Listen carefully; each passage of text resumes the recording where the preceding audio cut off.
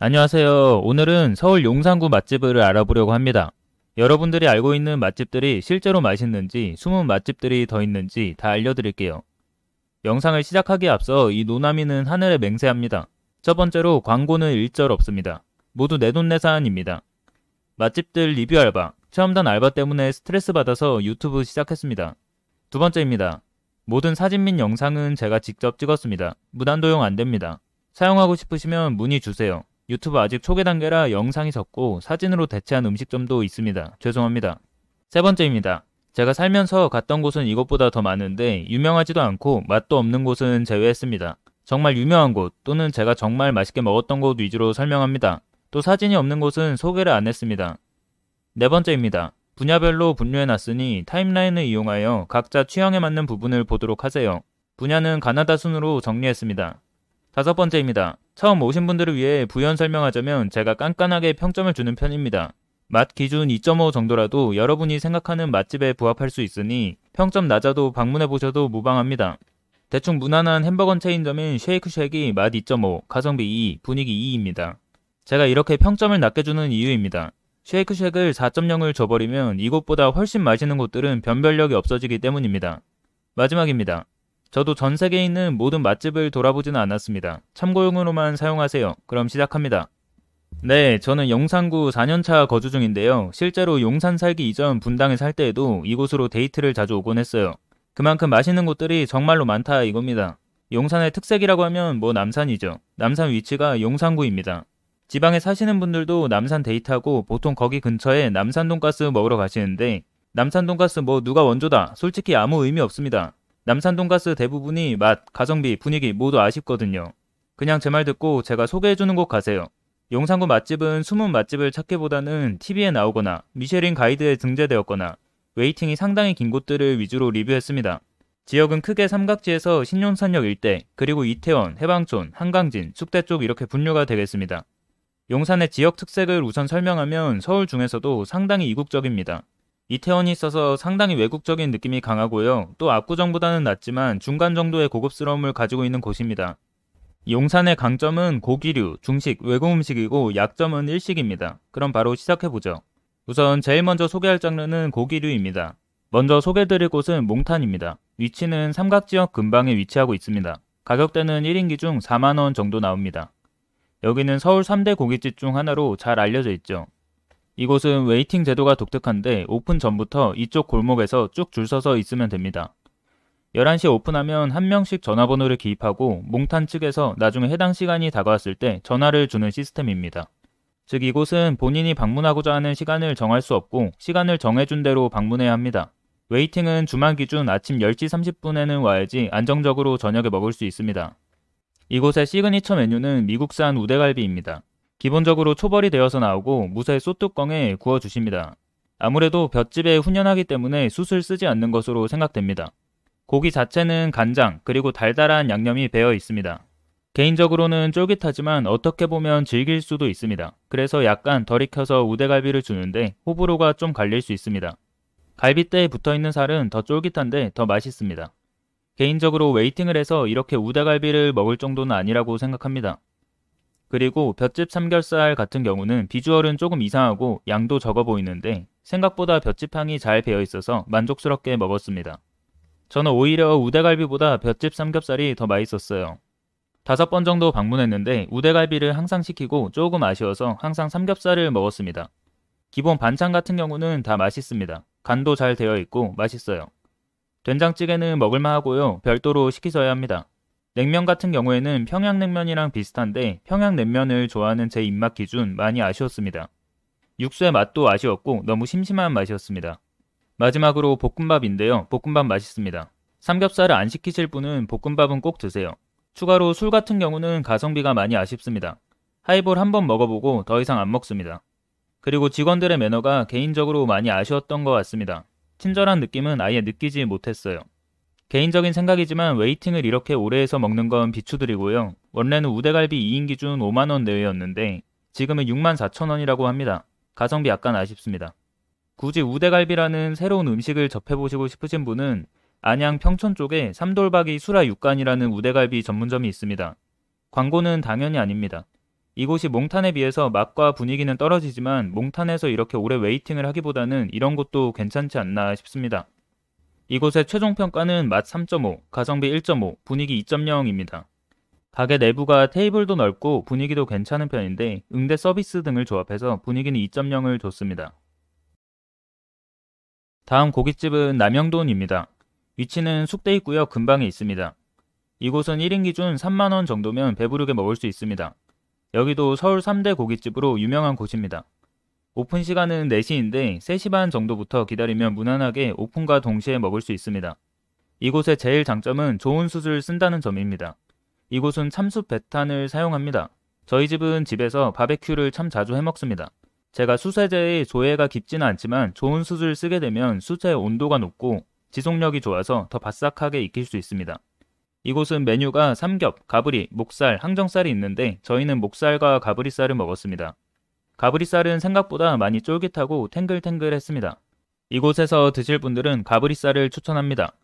항정살은 먹어보지 않아서 추천할 수 없겠네요. 기본 반찬은 젓갈류가 나오는데 맛있습니다. 기본 반찬 중에서 김치가 특별히 맛있었는데 굴이 들어가서 그런 것 같습니다. 계란찜은 지극히 평범했습니다. 물맛이 덜하고 계란이 진했으며 짭짤하게 제공되어서 무난했습니다. 이곳에 단점도 있는데 우선 숯이 너무 강렬해서 엄청 덥습니다. 그리고 아무래도 요새 맛있는 고깃집들의 고기 quality가 상향 평준화되어서 그렇게까지 감동적인 맛은 아니었습니다. 즉 3대 고깃집이지만 명성에 비해 약간 맛이 아쉬웠다고 생각합니다. 하지만 좋은 숯을 쓴다는 점, 그리고 200g인데 가격이 참 착하다는 점은 장점이라고 생각됩니다. 이곳의 평가는 맛 3.5, 가성비 3.5, 분위기 2.0입니다. 기본적으로 가게가 더럽지는 않지만 낙후된 느낌을 받았습니다. 다만 일부 직원들의 매너가 많이 좋았던 걸로 기억합니다. 다음 고깃집은 도야집입니다. 위치는 삼각지와 신용산 사이에 있습니다. 가격대는 1인당 2.5만원 내외입니다. 여기는 3대 고깃집은 아니지만 waiting이 꽤 있는 가게입니다. 평일 저녁 peak time 기준 1시간 이상 waiting이 발생할 수 있습니다. 이곳 주변이 요새 맛집들이 많은데 그 여파로 사람들이 많이 몰리는 게 아닌가 싶습니다. 기본적으로 이곳은 뼈 삼겹살이 특색 있는 메뉴입니다. 개인적으로 이곳을 방문하실 분은 반드시 뼈 삼겹살을 시켜 드시기 바랍니다. 마찬가지로 고기들은 요새 전문적인 맛집들 기준으로 봤을 때 평범하지만 뼈 삼겹살 같은 경우에는 잘 보기 어려운 부위라고 생각합니다. 뼈대가 붙어 있는 삼겹살인데 나중에 뼈대에 붙은 살 먹는 재미도 있습니다. 내부는 상당히 좁은 편이고 개인적으로 냄새가 좀 안 빠졌던 것 같습니다. 기본 반찬은 마찬가지로 정말 맛있습니다. 특색 있는 반찬은 목이버섯입니다. 목이버섯을 이렇게 간장에 절인 곳을 살면서 본 적이 없는데 정말 참신하고 맛있었습니다. 그리고 소스 중에서 갈치 속젓 색이 갈색이 아닌 붉은색이었고 독특하게 황태를 갈아서 소스를 제공합니다. 갈치 속젓은 별로였고 황태는 생각보다 참신하고 찍어 먹는 재미가 있었습니다. 특히 여기는 side로 계란찜을 시키게 되면 이렇게 터질 듯이 많이 주긴 합니다. 이곳 계란찜의 맛은 평범하지만 visual적으로 봤을 때는 impact가 있습니다. 갈치속젓 비빔밥은 생각보다 별로였는데 막상 사진을 못 찾았습니다. 죄송합니다. 이곳의 맛은 3.5, 가성비 2.5, 분위기 1.0입니다. 3대 고깃집과 비교했을 때 고기 자체의 맛은 손색이 전혀 없습니다. 다만 개인적으로 테이블 간 간격이 좁은 편이고 내부가 너무 좁아서 환기가 잘 안되는 느낌이 아쉬웠습니다. 네 번째 소개드릴 곳은 화양연화입니다. 위치는 신용산역 근방에 있습니다. 이곳의 가격대는 1인 기준 5만원 내외입니다. 이곳은 예약이 가능하지만 예약을 하지 않는다면 과도한 웨이팅이 발생할 수 있습니다. 이곳은 길을 찾기가 약간 힘들 수 있습니다. 그리고 건물 자체가 정말 오래되었는데 생각보다 정말 분위기가 괜찮습니다. 오래된 건물로도 이렇게 느낌을 낼 수 있구나 라는 생각이 듭니다. 취급하는 고기류는 소, 양, 돼지 모두 취급하고 있습니다. 가격대는 센 편이고 최근에 French rack 가격이 약간 더 오른 것 같습니다. 저희는 셋 다 먹어봤습니다. 기본적으로 plating은 괜찮게 잘 나옵니다. 인스타 자랑용으로 visual은 합격입니다. 그런데 저는 인스타를 하지 않습니다. 고기의 맛 평가합니다. 우선 소 I-bone rib인데 맛은 그저 그렇습니다. 상당히 고소한 편이고 기본적으로 제공하는 소스들 대신 그냥 먹는 걸 추천합니다. 트러플 오일이 기름진 편이라 너무 느끼할 수 있기 때문입니다. 양 프렌치렉은 그냥 고급 전문점에서 먹는 맛이랑 같습니다. 양인 환대 등 유명한 양갈비와 맛이 동일합니다. 잡내는 전혀 없고 그 양의 고소한 향이 남아 있습니다. 마찬가지로 양고기도 상향 편준화가 되어 있다고 생각합니다. 여기서 제일 마음에 들었던 건 이베리코 양념 뼈목살이었습니다. 기본적으로 완전 맛이 안 나는 양념으로 숙성시킨 것 같은데 맛 자체가 평소에 접하기 어려운 신비한 맛입니다. 목살인데 엄청 기름진 맛이 납니다. 가격도 저렴해서 한번 도전해보세요. 또 기본 반찬들은 모두 맛있고 특색 있는 음식은 줄기상추 무침입니다. 줄기 상추를 드셔보신 분은 아시겠지만 꼬득꼬득한 느낌이 정말 묘한 매력이 있습니다. 그리고 뭐 말돈 소금, 트러플 오일, 민트 젤리 등 기본적으로 구성 자체가 고급스러운 편입니다. 하지만 개인적으로는 트러플 오일은 조금 안 어울리지 않나 싶습니다. 술 같은 경우는 가성비가 좋지 않습니다. 그래도 와인바보다는 저렴하다고 생각합니다. 이곳의 최종 평가는 맛 3.5, 가성비 1.5, 분위기 3.0입니다. 기본적으로 고기들에게서 흠집을 잡을 수가 없습니다. 다만 아쉬운 부분은 가격대가 약간 센 편이라서 금전적으로 부담이 될 수 있다는 점입니다. 그래도 와인이나 이런 것들의 가격은 그렇게 비싸지 않아서 또 양심적인 가게라고 생각도 듭니다. 이상하게도 현재 4곳을 평가했는데 맛은 다 3.5입니다. 개인적으로 그만큼 용산이 고기를 잘한다고 생각합니다. 아무래도 직장인들도 많고 부자들도 많아서 육질 자체는 너무 상향 평준화가 된 것으로 생각됩니다. 다섯 번째 가게는 용산 양꼬치입니다. 위치는 삼각지역에 있고 가격대는 1인 기준 3만원 내외입니다. 웨이팅은 평일 저녁 기준 1시간 이상 기다려야 합니다. waiting 없이 드시고 싶으신 분은 5시 이전에 방문하시길 바랍니다. 이곳은 무난한 가성비로 양꼬치를 즐길 수 있고 특별히 이곳이 유명한 이유는 양다리 통구이 때문입니다. 이 메뉴를 먹기 위해서는 미리 예약을 해야 합니다. 양꼬치도 제가 말하자면 맛있는 곳들이 서울에 많습니다. 이곳은 양꼬치가 top급은 아닌데 마파두부가 정말 맛있습니다. 양꼬치 맛집에서 마파두부라니 조금 아이러니할 수도 있지만 여기 마파두부는 정말 맛이 독특하고 중독성이 있습니다. 기본적으로 산초 베이스가 잘 물들어 있고 마파두부에 전분기가 많아서 소스가 쫀득쫀득합니다. 산초가 익숙하지 않으신 분들은 호불호가 갈려 제대로 못 먹으실 수 있습니다. 양꼬치의 경우에는 정말 평범하고 양갈비살이랑 기본 양꼬치랑 큰 quality 차이가 없습니다. 보통 맛없는 양꼬치집 가면 기본 양꼬치가 정말 맛이 없고 잡내가 많이 나는 경우가 많은데 여기는 기본 양꼬치도 상당히 육향이 잘 잡혀 있고 맛있다는 뜻입니다. 숯의 경우에는 고급스러운 숯이 아니라고 생각이 되며 금방 열기가 식습니다. 오랜 시간 먹게 되는 경우 추가해야 하는 경우도 생깁니다. 짜사이는 그냥 평범합니다. 약간 더 탱탱한 느낌이 있습니다. 이곳의 평점은 맛 3.0, 가성비 2.0, 분위기 1.5입니다. 개인적으로 테이블 간 간격이 너무 협소해서 불편한 면이 있습니다. 그 외에 맛이나 마파두부는 진짜 맛있습니다. 여섯 번째 가게입니다. 양인환대입니다. 위치는 마찬가지로 신용산 삼각지 하플거리에 있습니다. 1인당 예산은 5만원 내외입니다. 웨이팅은 1시간 이상으로 긴 편이니 미리 예약하시길 바랍니다. 이곳은 양을 전문적으로 취급하는 곳입니다. 근처에 오마카세 가게인 양인환대 극진도 있는데 여기는 가본 적이 없습니다. 저는 작년 말에 방문했는데 기본적으로 가격대가 많이 올랐습니다. 그리고 이때 당시에 칭따오가 만 원이었습니다. 개인적으로 이곳의 주류 가성비는 상당히 아쉽다고 생각합니다. 다찌 형태의 자리에 앉게 되면 대접받는 느낌은 납니다. 하지만 분위기가 시끄러운 편이라서 고급스럽지는 않다고 생각이 됩니다. 저는 이곳에서 생 양갈비, French rack, 갈비살을 먹어봤습니다. 개인적으로는 French rack을 추천합니다. 우선 기본적으로 plating은 잘 되어 있어서 마찬가지로 인스타 갬성이 느껴집니다. 또 기본 반찬들은 visual도 괜찮고 다 맛있는 편입니다. 뜬금없이 두부 관련 국이 나오는데 심심하게 먹을만 합니다. 개인적으로 맛은 그냥 지극히 평범했습니다. 다만 독특한 부분도 있었는데 French rack 일부분을 떼어내어서 스테이크 형식으로 제공합니다. 내부가 너무 덜 익어서 visual과 다르게 약간 질긴 면도 있지만 참신하긴 했습니다. 옆에 청어알은 아쉬웠습니다. 갈비살의 경우에는 이렇게 생겼는데 마찬가지로 정말 고소하고 굽기도 괜찮았습니다. 이곳의 평점은 맛 2.5, 가성비 1.0, 분위기 2.0입니다. 개인적으로 이곳은 라무진, 미방 등 그냥 무난한 양갈비 체인점과 비교했을 때 비슷한 수준이라고 생각됩니다. 다만 토치로 익혀주는 점, 그리고 직원의 숙련된 굽기 솜씨 등을 생각했을 때 그래도 비슷한 품질의 고기를 더 맛있게 먹을 수 있지 않나 싶습니다. 일곱 번째 가게 손문입니다. 위치는 신용산역에 위치하고 있습니다. 가격대는 1인 기준 2.5만원 내외입니다. 주말 기준 웨이팅이 1시간 이상 있으니 이른 시간에 방문하시길 추천합니다. 이곳은 근처에 같은 손문이 3개나 있습니다. 개인적인 생각으로는 여기 본점이 제일 맛있습니다. 이곳의 주력 메뉴는 갈매기살입니다. 저는 여기를 방문하게 되면 갈매기살 그리고 대구막창을 먹습니다. 이곳의 제일 장점은 직원이 미리 초벌을 해서 온다는 점입니다. 불은 연탄불을 쓰고요. 가격대는 무난합니다. 특히 돼지 막창의 경우에는 주문하게 되면 나오는데 시간이 좀 걸립니다. 이곳의 기본 반찬은 거의 안 나옵니다. 기본으로 제공되는 보쌈식 가짜 막국수는 무난합니다. 그냥 보쌈 족발집에서 먹는 그 달달한 맛이 나는데 개인적으로 좋아하지는 않습니다. 고기의 맛은 갈매기의 경우 은은하게 단맛이 섞여 있습니다. 그냥 무난하게 쫄깃하고 잡내 없으며 맛있습니다. 돼지 막창의 경우에는 용산에서 잘하는 곳이 없어서 여기서 먹는 편입니다. 저는 개인적으로 바삭한 돼지 막창을 좋아하는 편이라 초벌이 나온 후에도 상당히 오랜 시간 동안 익혀 먹는 편입니다. 추가로 계란찜의 경우에는 지극히 평범합니다.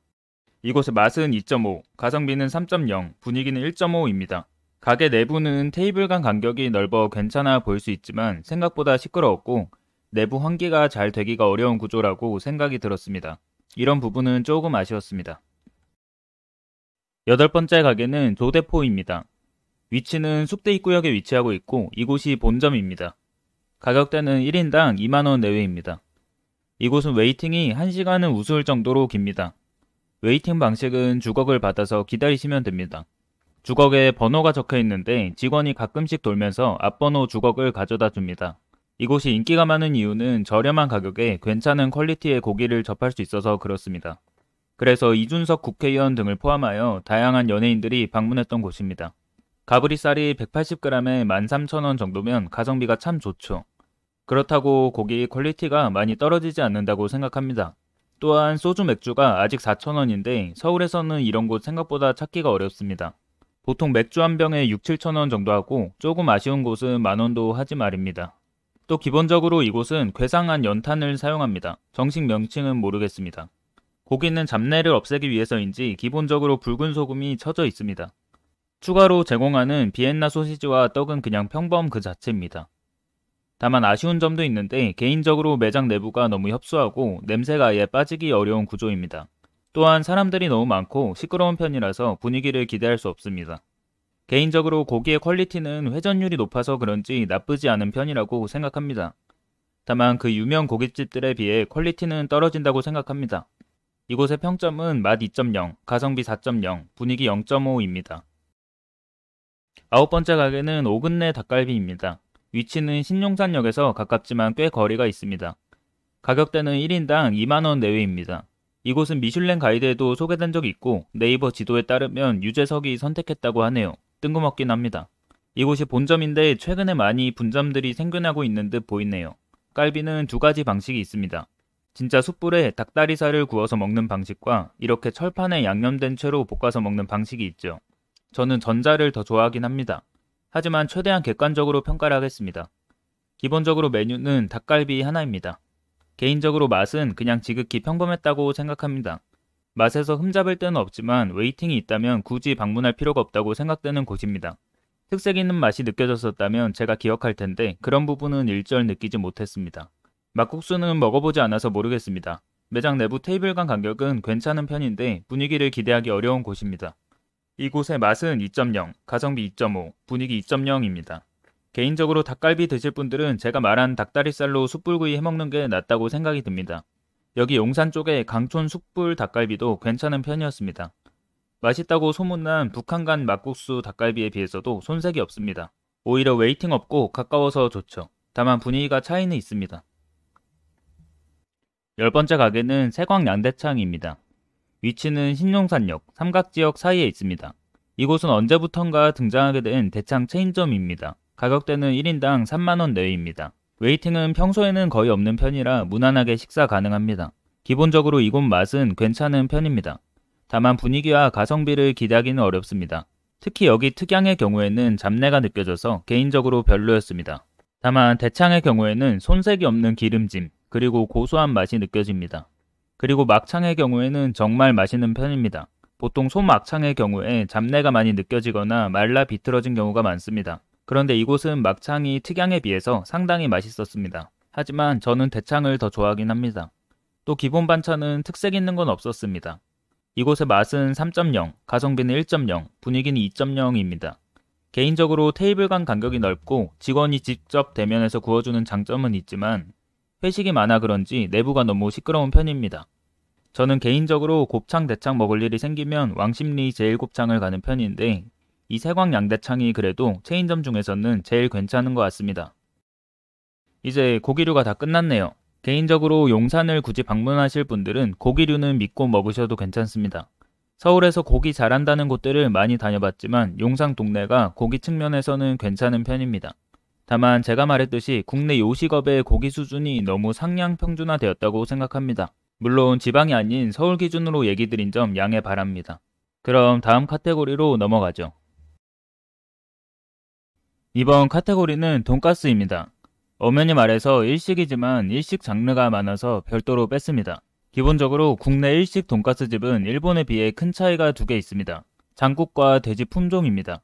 우선 돼지 품종 자체가 달라서 고소한 맛이 덜 느껴집니다. 일본에는 아구, 도쿄엑스, 크로부타, SPF, 제이톤 등등 맛있는 돼지 품종이 많습니다. 소고기의 경우에도 다른 모든 나라는 BMS가 9까지밖에 없는데 일본은 BMS가 12까지 있는 것처럼요. 또 다음으로 아쉬운 부분은 장국입니다. 일본은 돈지루를 정말 신경 쓰는 편인데 한국에서는 특별히 신경 쓰는 곳이 많지 않습니다. 한국 장국은 보통 일본 브랜드 인스턴트 미소국 쓰는 것 같습니다. 즉 일본 대중 체인점 마찌야 장국이랑 비슷하다 이겁니다. 아무튼 돼지 품종 자체와 장국을 제외하고는 한국 돈가스 집들도 일본과 견줄만 하다고 생각합니다.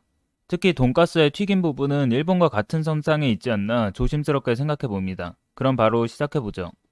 바로 첫 번째 가게 설명합니다. 오제제입니다. 이곳은 서울역 근처에 위치하고 있고 가격은 1인당 1.5만원 내외입니다. 최근에 분점이 이곳저곳 생겼습니다. 이곳이 본점입니다. waiting은 주말 기준 1시간 이상입니다. 이곳은 서울 일식 돈가스 맛집이라고 하면 항상 거론되는 곳입니다. 개인적으로 도산공원 카츠바이 콘반이 약간 더 괜찮긴 했지만 이곳은 안심과 등심 모두 제가 칭찬할 정도로 괜찮은 편입니다. 개인적으로 한국에서는 안심은 맛있는데 등심이 아쉬운 돈가스집이 참 많습니다. 그 이유로는 등심의 잡내를 잘 못 잡아서 그런데 제 개인적인 생각으로는 일본과 비교했을 때 돼지의 품종 차이, 그게 아니면 숙성 기술의 부족함이 원인이라고 생각합니다. 아무튼 오제제는 등심도 정말 괜찮은 편입니다. 다만 여기 매장은 위치가 서울역 위험 지역에 위치하고 있습니다. 동네가 조금 허름한 편이라서 근처에 할 것도 없고 조금 스산합니다. 그래서 방문하실 분들은 광화문점을 더 추천드립니다. 그리고 유일하게 아쉬웠던 점은 밥이랑 장국이 너무 아쉬웠습니다.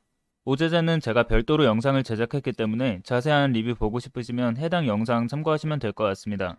이곳의 맛은 4.0, 가성비는 2.5, 분위기는 2.0입니다. 이 가게는 분위기가 괜찮지만 애초에 이곳 서울역 동자동 주변이 너무 노숙자들도 많고 위험한 지역이라고 생각되어 분위기를 낮췄습니다. 참고로 광화문점은 분위기가 더 높습니다. 두 번째로 소개시켜주고 싶은 곳은 북천입니다. 이곳은 삼각지 신용산 사이에 위치했었지만 본점을 BTS 사옥인 하이브 본사 옆으로 이전했습니다. 즉 위치는 신용산역에서 조금 떨어져 있습니다. waiting은 peak time 기준 30분 내외입니다. 가격대는 1인당 1.5만원 내외입니다. 이곳은 한국에서 손꼽는 경양식 돈가스 맛집입니다. 제가 살면서 다양한 돈가스를 먹어봤지만 이곳보다 맛있는 경양식 돈가스 집은 찾지 못했습니다. 이곳은 그리고 고기도 상당히 두툼한 편이고 소스의 경우 고소하면서도 매콤한 맛이 섞여 있어서 경양식 소스 중에서는 원탑이라고 생각이 듭니다. 다만 아쉬운 점은 튀김 자체가 너무 잘 떨어져서 괜히 기분이 안 좋습니다. 가격은 경양식 중에서 비싼 편이지만 양이 정말 많습니다. 개인적으로 많이 먹는 걸 좋아하시는 분들은 천 원 더 주고 세트를 추가하세요. 그리고 새로 이전하여 매장 내부는 상당히 깔끔하지만 테이블 크기도 작고 간격이 너무 좁아서 분위기가 조금 아쉬운 면이 있습니다. 이곳의 맛은 4.0, 가성비는 3.0, 분위기는 1.5입니다. 개인적으로 생각했을 때 외지인이더라도 한 번쯤은 꼭 방문해봐야 하는 가게가 아닌가 싶습니다. 이것도 자체적으로 영상을 제작했기 때문에 보다 자세한 리뷰가 알고 싶으신 분은 해당 영상 참고하세요. 세 번째 가게는 돈까츠 8월입니다. 이곳은 삼각지역에 위치하고 있습니다.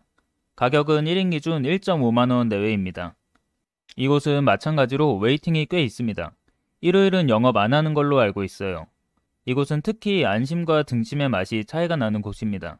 개인적으로 안심은 정말 부드럽고 맛있다고 생각이 되며 등심의 경우 잡내를 잘 못 잡아 많이 아쉽다고 생각합니다. 우선 이곳은 독특하게 선불 결제를 해야 하는 곳입니다. 또한 가게 내부가 되게 협소하고 테이블 간 거리가 엄청 좋습니다. 이곳의 특색 음식은 기본 반찬인데요. 자체적으로 숙성시킨 토마토와 고추 장아찌가 생각보다 많이 맛있습니다. 그리고 노란 겨자를 주는데 생각보다 참신했습니다. 요새는 겨자 주는 곳이 많지가 않거든요. 돈가스 소스와 샐러드 소스는 그냥 지극히 평범하고 튀김의 경우에는 상당히 부드러운 편입니다. 그리고 튀김색이 상당히 밝은 편인데 신선한 기름을 쓸 수도 있고 튀기는 시간이 짧아서 그럴 수도 있다고 생각이 듭니다. 장국은 그냥 다른 국내 돈가스집처럼 평범한 편인데 이곳은 특이하게도 약간 칼칼한 맛이 나서 중독적입니다. 기본적으로 이곳은 가게 내부가 협소한 점, 그리고 젓가락이 조금 아쉽습니다. 젓가락이 일회용이 아니고 무거운 나무 젓가락인데 생각보다 아쉬운 것 같아요. 그 외에 안심은 정말 맛있으니 방문해서 드셔보시는 것도 괜찮습니다. 다만 오제제와 비교했을 때 오제제가 더 맛있다고 생각이 듭니다. 이곳의 맛은 3.0, 가성비는 2.0, 분위기는 1.5입니다. 이곳은 가게 사장님이 정말 인사성이 밝으시고 친절한 편입니다. 일본에서 밥 먹으면 이라시아이 마세, 아리고자이마스 이렇게 밝게 인사하는데 이곳도 약간 비슷한 느낌이 들었어요. 네 번째 가게는 부엉이 돈가스입니다. 이곳은 남산 서울타워 2층에 위치하고 있습니다. 가격대는 1인 기준 1.5만원 내외입니다. 기본적으로 남산에 위치하고 있어서 뷰는 괜찮습니다. 보통 관광지에 가게가 있으면 맛은 별로이기 마련인데 이곳의 맛은 생각보다 기대 이상입니다. 가성비도 관광지를 감안하면 비싼 편은 아니고요. 다만 북천 이런 곳과 비교했을 때 퀄리티는 약간 아쉬운 편이라고 생각이 듭니다. 그리고 뷰는 괜찮고 테이블도 넓은 편이고 인테리어도 꽤 잘 되어 있지만 저 스스로는 약간 푸드코트 같은 느낌을 받았습니다. 이곳의 맛은 2.0, 가성비는 2.5, 분위기는 2.0입니다. 개인적으로 이곳이 생각보다 기대 이상이라서 남산에서 끼니를 해결하실 분들은 여기서 해결해도 될 것 같습니다. 뭐 남산 내려가면 근처에 다들 원조라고 주장하는 남산 돈가스들 많은데 그런 곳들 가지 마시고 여기 가세요. 남산 돈가스들 솔직히 너무 맛이 아쉽다고 생각합니다. 다섯 번째 가게는 후라토 식당입니다. 위치는 신용산역 근방에 있습니다. 가격대는 1인 2만원 내외입니다. 이곳은 본점이 아닌 체인점입니다. 본점은 경복궁역입니다. 웨이팅은 주말 기준으로도 거의 없습니다. 제가 기대를 안 하고 갔던 곳 중에서 생각보다 괜찮게 먹었던 규카츠 전문점인데요. 메뉴는 규카츠뿐만 아니라 다양한 메뉴를 취급하고 있습니다. 저는 여기서 규카츠와 민치 카레를 먹어봤습니다. 개인적으로 카레는 상당히 아쉬웠고 규카츠는 일본에서 먹는 것과 비슷한 느낌을 받았습니다. 다만 고기의 퀄리티는 동일 금액대에 비해서 일본에서 먹은 교토 규카츠가 더 낫다고 생각이 듭니다. 즉 굳이 이곳까지 방문해서 먹을 필요는 없다고 생각이 듭니다. 가격도 이번에 18,000원이 되어서 생각보다 가성비도 좋지 않다고 생각이 듭니다. 하지만 가끔씩 규카츠가 땡기신다면 한국에서 이곳을 방문해서 가끔씩 추억을 떠올리는 것도 좋은 방법입니다. 한국에 있는 규카츠 전문점 중에서는 괜찮은 편이거든요. 이곳의 맛은 2.5, 가성비는 2.0, 분위기는 2.0입니다. 용산에서 맛있는 돈가스 집은 이 정도로 설명이 되겠네요. 이제 다음 카테고리는 뭘까요? 바로 외국 요리입니다. 태국, 베트남을 포함한 동남아 음식부터 멕시칸 음식, 할랄 음식, 터키 음식, 남아공 음식 등 다양한 음식점들이 있는데 특히 용산은 외국인이 많이 놀러오는 이태원이 있어서 더 다양한 맛집들이 있습니다. 일식과 중국식은 참 메뉴가 많아서 본 카테고리에는 포함시키지 않았습니다. 바로 시작하겠습니다. 우선 첫 번째로 소개드리고 싶은 곳은 엘피노입니다. 이곳은 이태원 옆인 녹사평역에 위치하고 있었는데 저도 모르게 강남으로 이사 갔습니다. 강남 맛집으로 소개할까 하다가 그냥 항상 이곳에 있었어서 용산 맛집으로 소개했습니다. 가격대는 1인당 2만원 내외입니다. 이곳은 제가 영상이 거의 없지만 반드시 소개드리고 싶었던 멕시칸 음식입니다. 보통 일반적인 온더보더, 타코벨 등등 멕시칸 체인점들은 기본적으로 미국인 입맛에 맞게 요리되어 나옵니다. 이곳 엘피노도 LA식 멕시칸 음식이라고 소개되어 있는데 이런 메이저 체인점들과는 다른 맛이 납니다. 대학원 시절 멕시코 친구가 진짜 멕시칸 음식이라고 했는데 그 진짜의 의미를 깨우쳤었습니다. 평소 기대하는 맛보다 더 짜고 고수향이 더 강해서 호불호가 상당히 갈리는 맛입니다. 제 공주님은 이곳에 방문할 때마다 표정이 썩습니다. 그렇기 때문에 최근에는 이곳에 방문한 지 오래되어서 소개할까 고민을 했었는데 그래도 제 마음속 넘버원이라서 소개를 했습니다. 이곳에서 반드시 먹어봐야 할 건 쌀사 베르데입니다. 다만 제가 경고했듯이 상당히 호불호가 갈리는 맛이라서 고수를 지극히 많이 좋아하고 짠 음식을 좋아하는 사람만 도전해 보시길 바랍니다. 이곳의 맛은 4.0, 가성비는 3.0, 분위기 2.5입니다. 분위기는 매장이 바뀐 관계로 다를 수 있습니다. 두 번째로 소개드릴 곳은 효뜨입니다. 이곳은 신용산역 삼각지역 사이 핫플에 위치하고 있습니다. 가격대는 1인 1.5만원 내외입니다. waiting은 주말 기준 1시간 넘습니다. 이곳은 과거 범죄도시2 촬영지로 입소문을 탄 후 사람이 더 많아졌습니다. 분위기 자체는 흡사 베트남에 놀러온 것처럼 되어 있는데 실제로 베트남이랑 똑같지는 않고 베트남보다 더 고급스럽습니다. 하지만 플라스틱 그릇, 파라솔 등 그 베트남 현지 느낌을 표현하려고 한 느낌이 납니다. 우선 메뉴는 다양한 편인데 이곳의 장점은 진짜 베트남에서 먹는 맛과 거의 비슷하다는 점입니다. 보통 한국에서 쌀국수를 먹게 되면 약간 퓨전식이라서 고수를 넣어주고 하는데 실제로 베트남에 여행 가보신 분들은 알겠지만 현지 쌀국수 가게는 고수보다는 민트향이 나는 고수 사촌을 넣어줍니다. 여기는 그 민트향이 나는 고수 사촌을 베이스로 쌀국수가 나옵니다. 즉 기본적으로 베트남 현지의 맛을 잘 구현했습니다. 그리고 덮밥 같은 경우도 정말 짭짤하게 잘 구현했습니다. 다만 제일 아쉬운 부분은 가격적인 측면입니다. 제가 베트남을 다녀와서 더 그렇게 느끼는 면도 있지만 보통 현지 가격 기준 3,000원, 6만 동이면 배 터지게 먹습니다. 당연히 한국 물가를 감안해야 하지만 기본적으로 쌀국수에 제공되는 야채들이 현지에 비해 넉넉하지 않다고 느꼈습니다. 또한 양이 생각보다 적습니다. 성인 남자가 가게 될 경우에는 음식 1.5개 정도는 시켜야 배부르게 먹을 수 있습니다. 그리고 테이블이 너무 협소합니다. 흡사 북천과 비슷한 수준의 사이즈입니다. 다만 테이블 간 간격은 그래도 넓은 편입니다. 마지막으로 맥주 값이 상당히 아쉽습니다. 사이곤 같은 경우에는 300ml짜리가 현지에서 500원, 즉 1만동 내외인 걸로 기억하는데 네, 뭐 여행을 갔다 왔기 때문에 제가 괜히 더 비교하는 것 같네요. 이것도 아마 300ml 내외인 것 같은데 한국 물가가 비싼 걸 감안하더라도 6천원이면 가성비가 많이 아쉬운 것 같습니다. 이곳의 맛은 4.0, 가성비는 2.0, 분위기는 1.0입니다. 네, 아무튼 제가 느끼기에 가성비와 분위기는 별로 좋지 않았어요. 약간 콩카페가 한국 와서 가격이 비싸진 것처럼 되었다고 해야 할까요? 그래도 베트남 현지 맛을 거의 비슷하게 구현했다는 점은 상당히 칭찬하고 싶습니다. 세 번째로 소개할 곳은 부다스 벨리입니다. 위치는 이태원 녹사평역에 위치하고 있고 가격대는 1인 3만원 내외입니다. 2022년 Taste of 서울 Top 100에 들었던 가게입니다. waiting은 모르겠고 예약하시길 바랍니다. 개인적으로 이곳은 소개팅 장소에도 적합할 만큼 분위기가 있습니다. 이곳도 아마 태국 5성급 현지 호텔 셰프들이 직접 요리하는 걸로 알고 있습니다. 개인적으로 태국 음식을 정말 잘 구현했고 맛도 있다고 생각이 듭니다. 우선 메뉴들인데요. 메뉴가 정말 다양합니다. 뭘 시켜야 할지 모르겠으면 그냥 세트 메뉴 드세요. 기본 구성이 잘 되어 있고 태국 시그니처 메뉴들이 잘 섞여 나옵니다. 똠양꿍, 푸파퐁 커리, 공심채 볶음 등입니다. 기본적으로 푸파퐁 커리는 비주얼과 다르게 정말 맛있습니다. 본인이 이런 카레들을 많이 먹어보셨다면 아무래도 여기서 한 번 더 먹어보고 비교를 해보세요. 공심채 볶음도 태국 가면 꼭 먹는 요리입니다. 저 개인적으로는 이런 요리들을 정말 좋아합니다. 이건 태국뿐만 아니라 중국, 말레이시아 이런 데서 중국집 가면 항상 기본적으로 먹는 메뉴이죠. 제가 말레이시아 여행 갔었을 때 현지인이랑 2주 동안 갔었는데 거의 하루에 한 번은 꼭 먹었을 정도로 국민 음식입니다. 마지막으로 인테리어 그리고 전망이 생각보다 잘 되어 있습니다. 운치가 있습니다. 하지만 뷰가 좋은 만큼 가게 위치가 언덕에 있어서 생각보다 다리가 아픕니다. 개인적으로는 이번 미쉐린 가이드에 나온 교대역에 있는 태국 전문점인 쿤솜 차이보다 많이 괜찮았습니다. 푸팟퐁 커리가 더 맛있었고 분위기 또한 상당히 괜찮았습니다.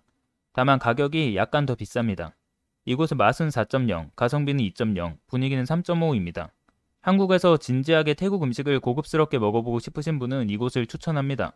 참고로 고속터미널에도 있다고 하긴 하네요. 안 가봤습니다. 네 번째는 브라이 리퍼블릭입니다. 이곳은 이태원에 위치하고 있고 가격대는 1인당 3만원 내외입니다. 웨이팅 꽤 있습니다. 이곳은 한국에서 독특하게도 남아공 전문 음식을 체험할 수 있습니다. 개인적으로 남아공에 가본 적이 없어서 현지 음식과 맛을 비교하기는 어렵지만 주력 메뉴로 양갈비 그리고 미트파이를 취급하고 있습니다. 우리가 시켰던 메뉴는 4번 그리고 12번입니다. 양갈비는 일단 한국 고급 양갈비 전문점에서 먹는 거랑 비교했을 때 약간의 잡내가 납니다. 그런데 크게 신경 쓰지 않아도 될 정도입니다. 그리고 육즙은 많았고 개인적으로 사이드 중에서 크림 시금치는 꼭 넣어서 먹길 바랍니다. 여기서 제일 맛있었던 건 고구마와 크림 시금치 그리고 병맥주입니다. 미트파이는 생각보다 그 밀가루 반죽의 향이 많이 났고 고기의 잡내도 느껴졌습니다. 개인적으로 이곳에 오신다면 반드시 병맥주는 마셔보시길 권장합니다. 윈드호크이고 남아공 맥주입니다. 평소에 접할 수 있는 맛과 다릅니다. 다만 가성비는 안 좋았습니다. 제가 방문했을 당시 가격이 300ml에 6,500원이었습니다. 다른 단점으로는 영어가 기초 수준이시라면 기본적으로 메뉴판을 공부해 가시길 권장드립니다. 그리고 미트 파이를 주문하면 꽤 시간이 걸렸던 걸로 기억해요. 이곳의 맛은 2.5, 가성비는 2.0, 분위기는 2.0입니다. 이곳의 맛이 딱 그 아메리칸 퓨전 레스토랑 느낌 납니다. 육즙 많고 기름기 있고 맛있고 이런 느낌입니다. 다만 미트파이가 냄새가 나서 조금 아쉬웠다고 생각이 듭니다. 개인적으로 저처럼 이색 음식이 궁금하시다 하는 분은 이곳에서 한 번쯤은 먹어봐도 괜찮을 것 같습니다. 다섯 번째로 소개드릴 곳은 미미옥입니다. 이곳은 신용산역 근방에 있습니다. 웨이팅 모르겠습니다. 기본적으로 인테리어가 인스타 감성이 느껴집니다. 한국 퓨전식 쌀국수 집인데 깔끔하게 되어 있습니다. 개인적으로 이곳은 꽤 유명한 곳인데 제 입맛에 별로 맞지 않았던 것 같습니다. 이곳은 약간 뭔가 하나씩 부족한 느낌이 들었습니다. 샐러드는 그래도 독특했던 기억이 나는데 인테리어 제외하고 괜찮았던 느낌을 받지 못했습니다. 이곳의 맛은 2.0, 가성비는 1.5, 분위기는 2.5입니다. 그래도 기본적으로 한옥에 통유리로 되어 있고 참신한 인테리어로 인해 분위기는 나쁘지 않은 편이라고 생각합니다. 여섯 번째로 소개드릴 곳은 할랄 가이즈입니다. 이곳은 이태원에 위치하고 있습니다. 가격은 1인당 1.5만원대입니다. 이곳은 이름답게 할랄푸드를 취급하는 곳입니다. 할랄푸드가 뭔지는 알아서 찾아보시길 바랍니다. 요약하면 율법에 따라서 죄소해서 이슬람 신도들이 먹을 수 있는 음식입니다. 이곳은 개인적으로 패스트푸드 느낌을 거하게 받았습니다. 제가 미국에 살 때도 여길 방문해 본 기억은 없는데 미국에서 꽤 유명한 매장이라고 하네요. 개인적으로 양이 상당히 많았고 생각보다 먹을만 했습니다. 마찬가지로 정말 살찌기 좋은 음식이다 라는 생각이 들었습니다. 이곳의 맛은 2.5, 가성비는 3.0, 분위기는 1.0입니다. 개인적으로 다시 방문해 볼 때가 된 것 같긴 한데 막상 굳이 찾아서 먹을 정도는 아니라고 생각이 듭니다. 할랄 음식이 궁금하시다면 이곳을 방문해 보는 것도 괜찮지만 개인적으로는 할랄 패밀리 레스토랑인 캐르반이 더 낫지 않나 생각이 듭니다.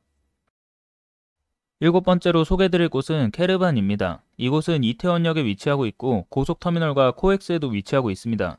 가격은 1인당 3만원 내외입니다. 웨이팅 아마 없을 건데 저처럼 그냥 예약하고 가세요. 이곳은 우선 패밀리 레스토랑이고 터키에서 넘어온 가게입니다. 마찬가지로 할랄 음식만을 취급하고 있고 이곳에서 식사 그리고 디저트까지 취급합니다. 보통 터키 사람들이 밥 먹고 커피와 다과를 엄청 즐긴다고 하는데 마찬가지로 즐길 수 있습니다. 음식은 기본적으로 향신료로 잡내를 잘 잡아서 맛있는 편입니다.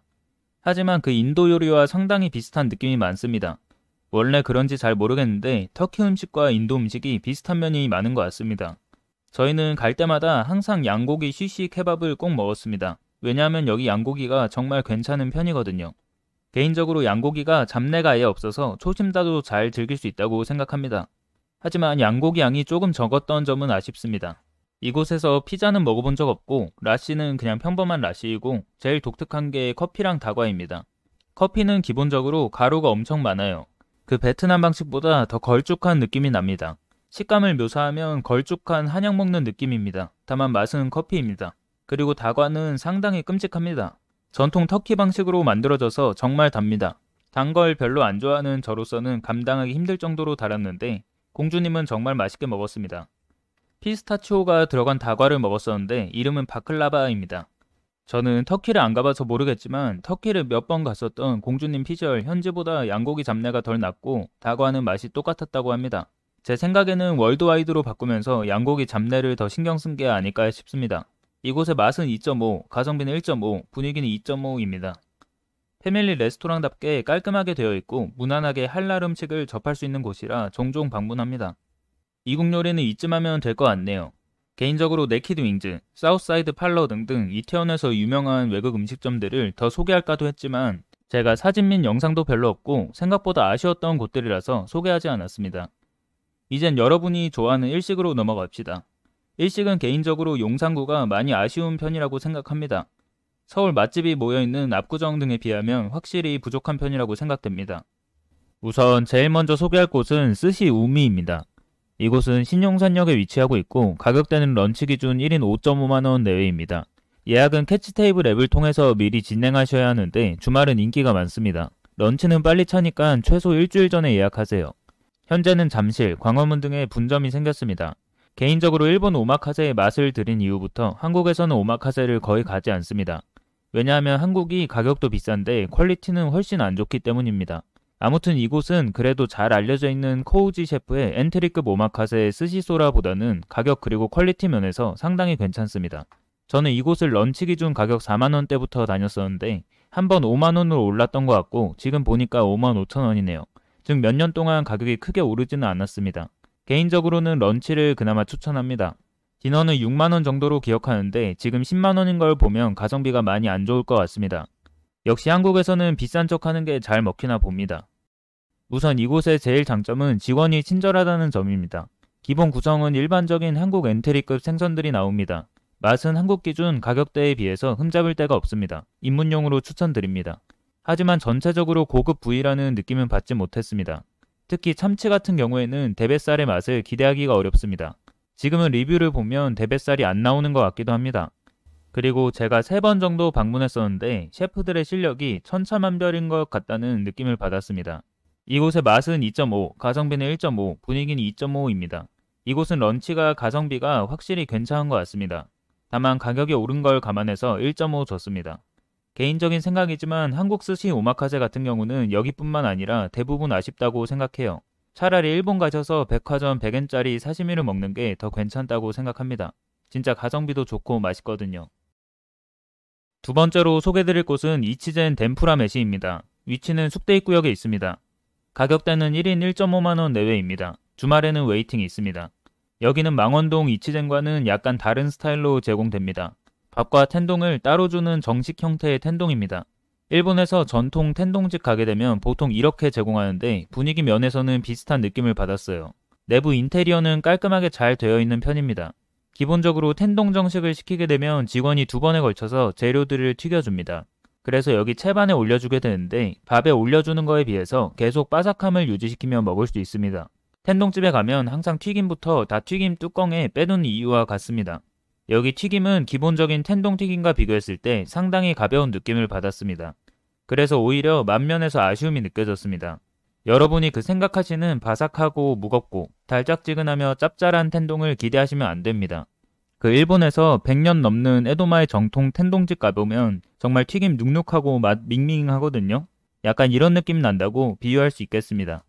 추가적으로 계절에 따라 굴튀김도 나왔던 것 같은데 저는 비추합니다. 이곳의 맛은 2.0, 가성비 2.0, 분위기 2.5입니다.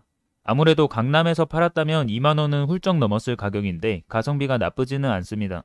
그리고 매장 내부가 일반 텐동집과 다르게 널찍하게 다찌식으로 되어 있어서 분위기는 괜찮은 편입니다.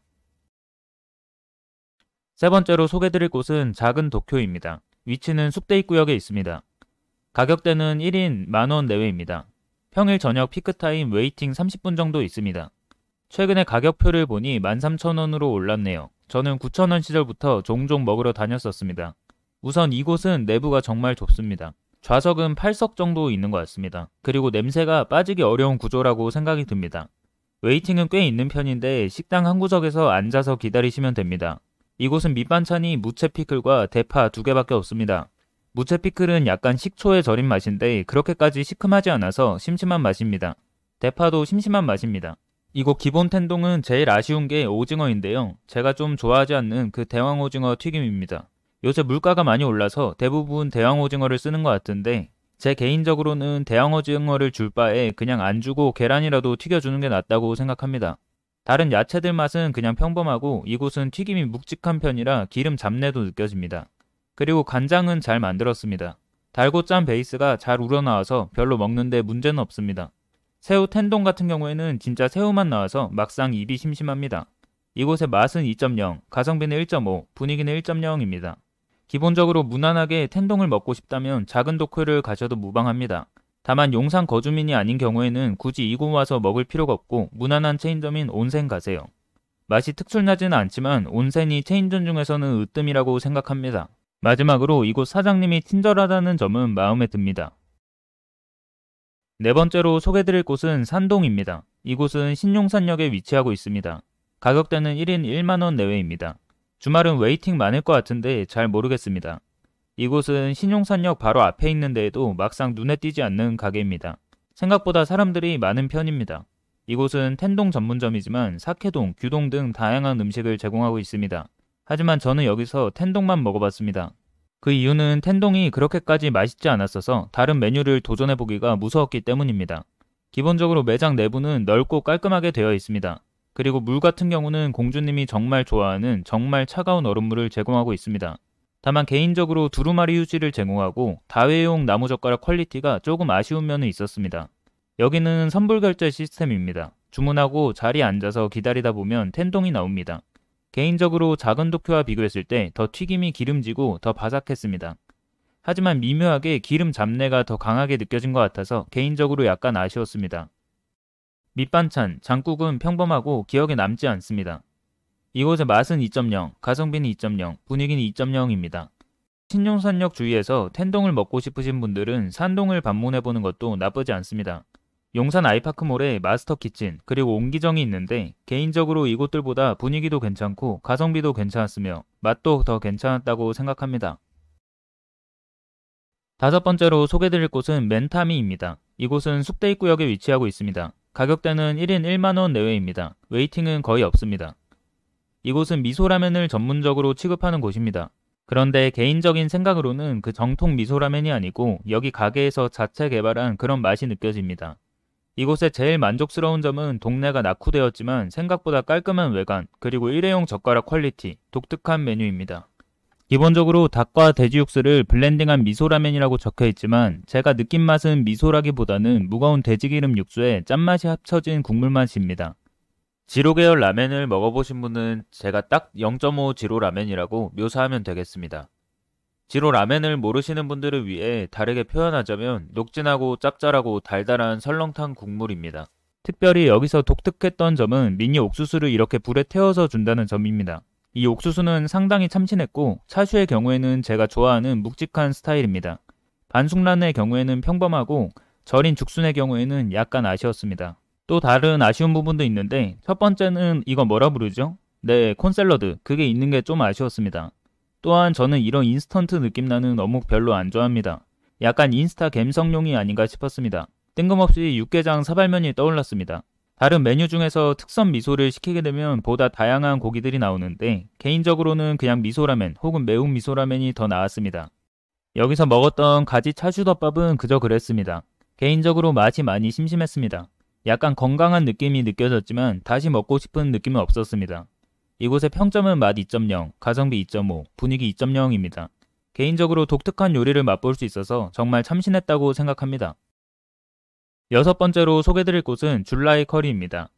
이곳도 마찬가지로 숙대입구역에 위치하고 있습니다. 가격대는 1인 1.5만원 내외입니다. 웨이팅은 모르겠습니다. 이곳은 카레 전문점인데 과거에는 카레 전문점이 아니었다고 하네요. 저는 과거에는 방문해본 기억이 없네요. 저는 이곳에서 줄라이 카레만 먹어봤습니다. 개인적으로 이곳 카레 비주얼은 정말 괜찮습니다. 그 제가 위에서 몇 번 언급한 그 인스타 갬성용입니다. 이곳에서 카레와 마늘 후레이크, 그리고 밥, 두부 같은 경우에는 무난하게 맛있습니다. 그리고 소세지는 그 한국식 소세지가 아니라 그 미국 훈제향 씨게 나는 그 소세지 아십니까? 그런 강한 향이 나기 때문에 호불호가 많이 갈릴 수 있는 맛입니다.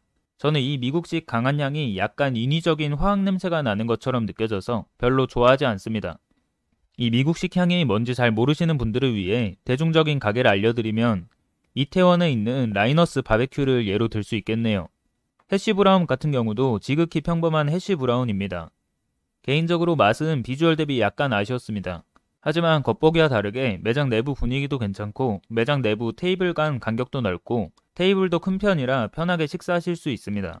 이곳의 평점입니다. 맛 1.5, 가성비 2.0, 분위기 1.5입니다. 일곱 번째로 소개드릴 곳은 만보 스키야키입니다.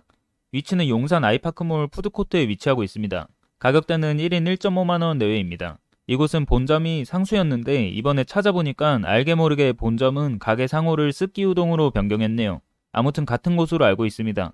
제가 원래 푸드코트 추천을 잘 안 하는데 여기는 생각보다 정말 가성비가 괜찮아서 소개를 드립니다. 가끔씩 일본에서 먹던 그 스키야끼의 추억이 떠오른다면 방문하는 곳인데요. 어차피 한국에서 스키야키 맛있게 먹으려면 도쿄 등심 이런 데 가야 합니다. 그런데 그런 곳 가격은 보통 1인 기준 10만원 정도 하거든요. 그래서 차선책으로 가성비가 좋은 곳을 물색하다가 발견하게 되었습니다.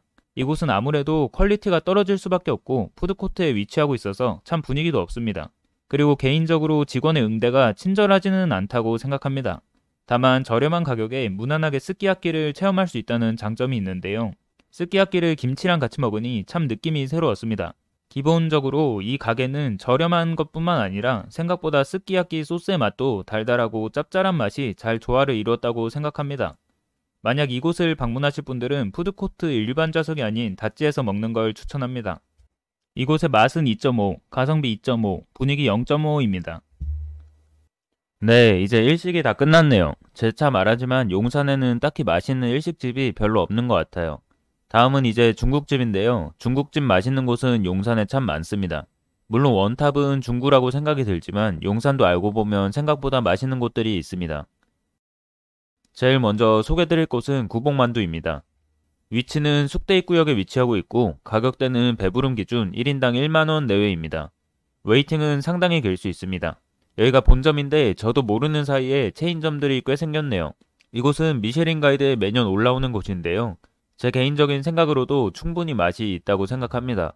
이곳의 주력 상품은 구복만두입니다. 그런데 별도로 샤오롱바오 등도 팔긴 합니다. 메뉴는 총 4개입니다. 바로 구복만두 맛 알려드릴게요. 혹시 일본 가서 교자 드셔보신 분 있나요? 교자 시키면 보통 바닥을 붙여서 주는 곳이 많습니다. 이곳의 구복만두도 이 교자와 상당히 비슷한데 이 바닥이 바삭바삭해서 먹는 재미가 있습니다. 맛 자체를 표현하면 식감은 겉바 속촉이고 내부의 맛은 고기의 풍미로 가득 찬 맛입니다. 즉 맛있다는 소리입니다. 다음으로 새우만두입니다. 그냥 새우만두 맞는데 안에 새우가 여러 개 들어가 있어요. 해자입니다. 새우의 풍미가 잘 느껴지는 맛이며 약간 심심한 맛이 납니다. 김치만두의 경우에는 그냥 그 김치만두가 맞고요. 개인적으로는 그저 그렇습니다. 제 생각으로는 만두 3종 중에서는 구복만두가 제일 맛있다고 생각이 듭니다.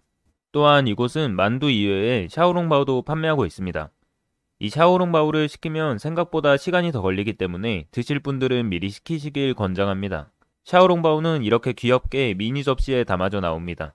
세계에서 가장 샤오롱바오로 유명한 가게인 딘타이펑과 맛을 비교하자면 기본적으로 딘타이펑보다 사이즈가 커서 육즙이 더 많이 나옵니다. 다만 야채가 더 많이 느껴져서 야채 씹는 느낌이 났습니다. 만두피 같은 경우에는 더 밀가루가 덜 느껴지는 맛을 받았습니다. 딘타이펑은 야채우 적고 사이즈가 더 작아서 그런지 약간 육즙 그리고 육향이 메인으로 느껴지고 밀가루 맛도 같이 느껴지는 매력이 있습니다. 즉 이곳의 샤오롱바오는 딘타이펑과 또 다른 맛있는 맛이다 라고 표현을 할 수 있겠습니다. 추가로 반찬은 단무지 그리고 흑식초와 얇게 자른 생강을 제공합니다. 이게 자유배식 코너처럼 한쪽에서 셀프바로 무한히 가져올 수 있는데 저는 이곳에 방문할 때마다 생강을 한 주먹씩 받습니다. 그만큼 생강 그리고 흑식초가 제 입맛에 맞거든요. 가게 주인님은 이제 제가 누군지 알아보겠네요. 마지막으로 가게 내부는 협소한 편인데 생각보다 좌석은 많습니다. 테이블 크기가 작지만 만두 플레이팅은 더 작아서 크게 좁다는 느낌은 느끼지 못했습니다. 추가로 이곳의 사장님 그리고 알바는 매우 친절하십니다. 이곳의 맛은 3.5, 가성비는 3.5, 분위기는 1.5입니다. 용산에서 점심 먹고 나서 애매한 상황인데 뭘 할지 모르겠다 라고 생각하는 분들은 이곳에 잠깐 들러서 배돼지 채우는 것도 좋다고 생각합니다. 그만한 가치가 있거든요. 두 번째로 소개드리고 싶은 곳은 티모안입니다. 위치는 용산 아이파크몰에 위치하고 있습니다. 가격대는 1인당 2.5만원 내외입니다. 웨이팅은 주말 기준 1시간 이상 됩니다. 오픈 전에 방문하세요. 팀호완은 홍콩에 본사를 두고 있는 체인점입니다. 우리나라에서는 가장 먼저 코엑스 쪽에 들어왔었는데 저는 코엑스점은 오픈했을 당시인 2019년에 마지막으로 갔었고 그 이후로는 용산점을 주로 다녔습니다. 그래서 여기 용산 맛집으로 소개를 드렸습니다. 이곳도 이번에 미쉐린 가이드 빕구르망에 선정되었다고 하긴 하네요.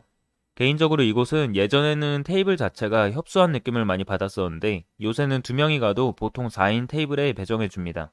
이곳의 시그니처 메뉴는 차슈 바오번입니다. 하지만 이곳 대부분의 메뉴들이 평타는 칩니다. 즉 어떤 메뉴를 먹어도 손색이 없다는 뜻입니다. 개인적으로 제가 여러분들에게 몇 가지 음식들을 추천하겠습니다. 여기 처음 방문하게 되면 보통 뭘 먹어야 할지 고민인 분들이 많습니다. 20회 이상 방문해 본 사람이 추천해 주자면 딤섬류 2개에서 3개 정도, 그리고 면류 또는 밥, 고기류 사이드 중에서 2개 정도 시키시면 됩니다. 바로 딤섬류 설명합니다. 우선 차슈바오번 괜찮습니다. 맛은 내부가 달달한 고기 양념이 들어가 있고 겉빵피, 맛은 소보로 느낌이 나는 찐빵입니다.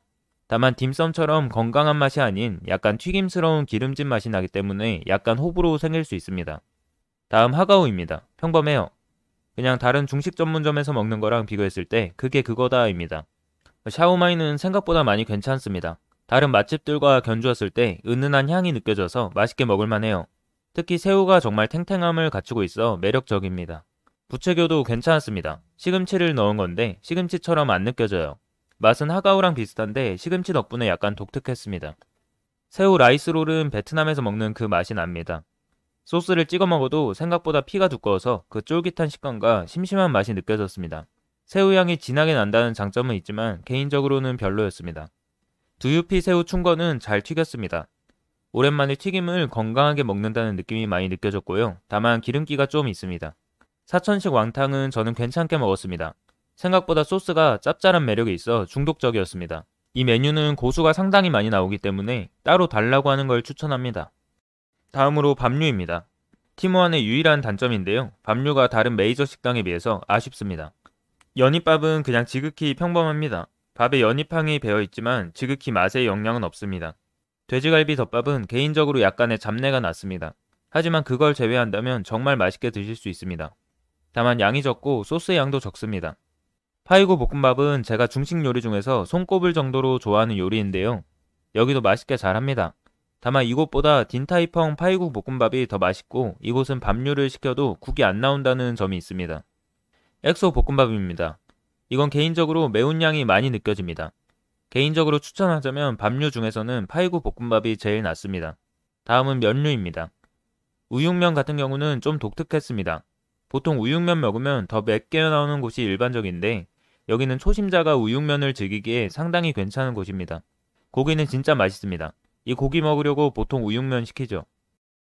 완탕면입니다. 저는 강력 추천하는데 이것도 면발이 호불호가 많이 갈리는 면이라서 심사숙고해서 결정하시길 바랍니다.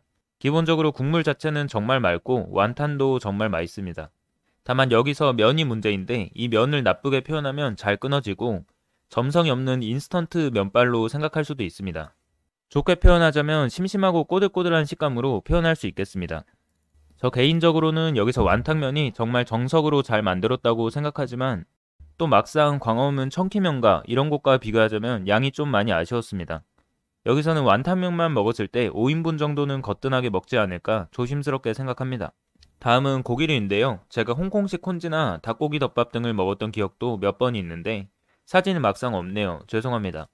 탕수기는 닭고기로 탕수육을 만든 겁니다. 맛을 표현하면 약간 일본식 가라아게 토마토 페이스트 향이 나는 탕수육 소스 부은 맛입니다. 개인적으로 탕수육이 맛있는 편인데 가성비가 아쉽습니다. 다른 메뉴들도 많이 먹어봤었는데 방문한 지 오래되어서 맛이 기억나지 않는다거나 사진이 없는 경우에는 제외시켰습니다. 이곳의 맛은 3.5, 가성비는 1.5, 분위기는 2.5입니다. 개인적으로 홍콩이나 대만 현지에 가서 직접 중국 요리를 먹은 느낌을 받았습니다. 다만 개인적인 생각으로 배부르게 먹기 위해서는 두 명 기준 메뉴를 8개는 시켜야 한다고 생각합니다. 맛은 전반적으로 다들 괜찮지만 가격은 또 착하지 않고 많이 비싼 편으로 느껴져서 여러모로 아쉬웠습니다. 마지막으로 이곳에 방문하실 분들은 반드시 차슈바우버는 먹어보세요. 맛있습니다. 세 번째로 소개드리고 싶은 곳은 주사부입니다. 여기는 삼각지역에 위치하고 있고 가격은 1인당 1만원 내외입니다. 주말 기준 웨이팅 꽤 있습니다. 이곳은 진짜 그 한국식 중국집입니다. 그 짜장면과 탕수육을 파는 그 동네 중국집이 맞습니다. 이곳은 그런데 짜장면과 탕수육이 그 동네 중국집 중에서는 월등히 괜찮은 편입니다. 우선 면 자체를 직접 뽑아서 사용하고요. 생각보다 쫄깃쫄깃 탱탱한 느낌이 있어서 쫄면을 먹는 느낌이 약간 납니다. 탕수육 같은 경우에는 고기에서 잡내가 전혀 나지 않고 튀김의 경우 두꺼운 편입니다. 그리고 여기는 탕수육 소스를 부어서 줍니다. 저는 원래 부먹파가 아니고 찍먹파인데 그 이유가 튀김이 금방 눅눅해져서입니다. 하지만 여기는 탕수육을 부어서 주는데도 생각보다 그 바삭한 튀김의 식감이 오래 유지됩니다. 탕수육에서 제일 마음에 들었던 건 야채들인데요. 목이버섯, 연근, 파프리카, 피망, 당근 등 다양한 야채들이 신선하고 탱탱해서 매력이 있었습니다. 여기서는 간짜장이 특히 맛있다고 소문이 나 있는데요. 면은 기본적으로 제가 말했듯이 정말 쫀득쫀득합니다. 그리고 짜장 소스의 경우에는 상당히 고기와 야채가 많이 들어 있습니다. 특히 양파가 많이 함유되어 있어 아삭한 식감이 괜히 좋습니다. 보통 중국집들 중에서 짜장 소스에 들어가는 고기가 잡내가 느껴지는 경우가 많은데 이곳은 고기에서 잡내가 일절 나지 않았습니다. 마지막 메뉴 군만두입니다. 그냥 완전 평범합니다. 이곳에 단점도 있습니다. 가격대는 정말 괜찮은 편이지만 2층에 위치하고 있고 걸어 올라가는 계단이 상당히 위험합니다. 그리고 아무래도 건물이 오래되었다 보니 내부가 오래된 느낌을 받아서 분위기를 기대하기가 어렵습니다. 마지막으로 직원들에게서 친절함은 일절 느껴지지 않았습니다. 이런 부분은 조금 아쉬웠어요. 이곳의 맛은 3.0, 가성비는 2.5, 분위기는 0.5입니다. 개인적으로 굳이 중급직을 먹으러 이곳까지 방문하는 건 좀 아쉽다고 생각되고 그래도 근처시라면 방문해서 먹어보는 것도 괜찮다고 생각합니다. 서울에서 짜장면 먹으실 거면 그냥 딘타이펑 가세요. 거기 사천 짜장면 정말 괜찮습니다. 딘타이펑 첩자 아니고요. 진짜 괜찮아서 말씀드리는 겁니다. 네 번째입니다. 크리스탈 제이드인데요. 위치는 용산역 아이파크몰에 있습니다. 1인 기준 3만원 내외입니다. 주말 기준 웨이팅이 있습니다. 이곳은 본점이 싱가포르에 있는 글로벌 체인점이고요. 한국에서는 압구정, 명동 등 다양한 곳에 위치하고 있습니다. 특히 명동 소공점은 일반 매장과 다르게 더 고급 음식들을 취급하는 걸로 알고 있습니다. 북경오리, 샥스핀, 랍스터 등 중국 고급집 요리들을 접할 수 있지만 아쉽게도 저는 방문해 본 적이 없습니다. 소공점은 미쉐린 가이드에도 나온 적이 있습니다. 저는 압구정 용산점만 방문했습니다. 아무튼 이곳은 중식 전문점답게 다양한 중국식 음식들, 특히 소롱포, 즉 샤오롱바오를 꽤 가성비 있게 먹을 수 있는 곳입니다. 단적으로 삼천리 그룹에서 운영하는 한국 체인점인 호우섬의 경우에는 소롱포가 3피스에 7,500원인데 여기와 딘타이펑의 경우에는 더 괜찮은 퀄리티의 소롱포를 개당 1,000원 초중반에 접할 수 있습니다. 개인적으로 중국식 요리를 좋아하시는 분들은 이곳이나 딘타이펑을 방문하시길 추천드립니다. 괜히 싱가포르에서 넘어온 글로벌 체인점이 아닙니다. 음식들은 특출나게 맛있다라는 느낌은 없지만 흠잡을 데 없는 음식들입니다. 다만 음식 가성비가 소롱포를 제외하고는 그렇게 좋지는 않습니다. 개인적으로 처음 오신다면 다양한 메뉴로 인해 선택장애가 올 수 있습니다. 아무래도 유명한 중국 음식들인 동파육, 우육면, 딤섬 등을 먹어보시는 걸 추천합니다. 저는 이곳에서 우육면과 탄탄면은 먹어보지 못했습니다. 다른 메뉴들에 빗대어 보면 아무래도 괜찮지 않을까 싶습니다. 이곳의 맛은 3.5, 가성비는 2.0, 분위기는 2.5입니다. 개인적으로 웨이팅이 많아서 주말은 피하는 게 좋지 않을까 싶습니다. 예약이 되는지는 잘 모르겠네요. 다섯 번째로 소개드리고 싶은 곳은 장홍입니다. 위치는 신용산역에 위치하고 있습니다. 가격대는 1인당 1만원 내외입니다. 개인적으로 이곳은 퓨전식 중국식이라는 점에서 높게 평가하고 싶습니다. 이곳의 주력 메뉴는 짬뽕입니다. 짬뽕은 상당히 독특한데 우선 제일 독특한 점은 불향과 사골 육수입니다.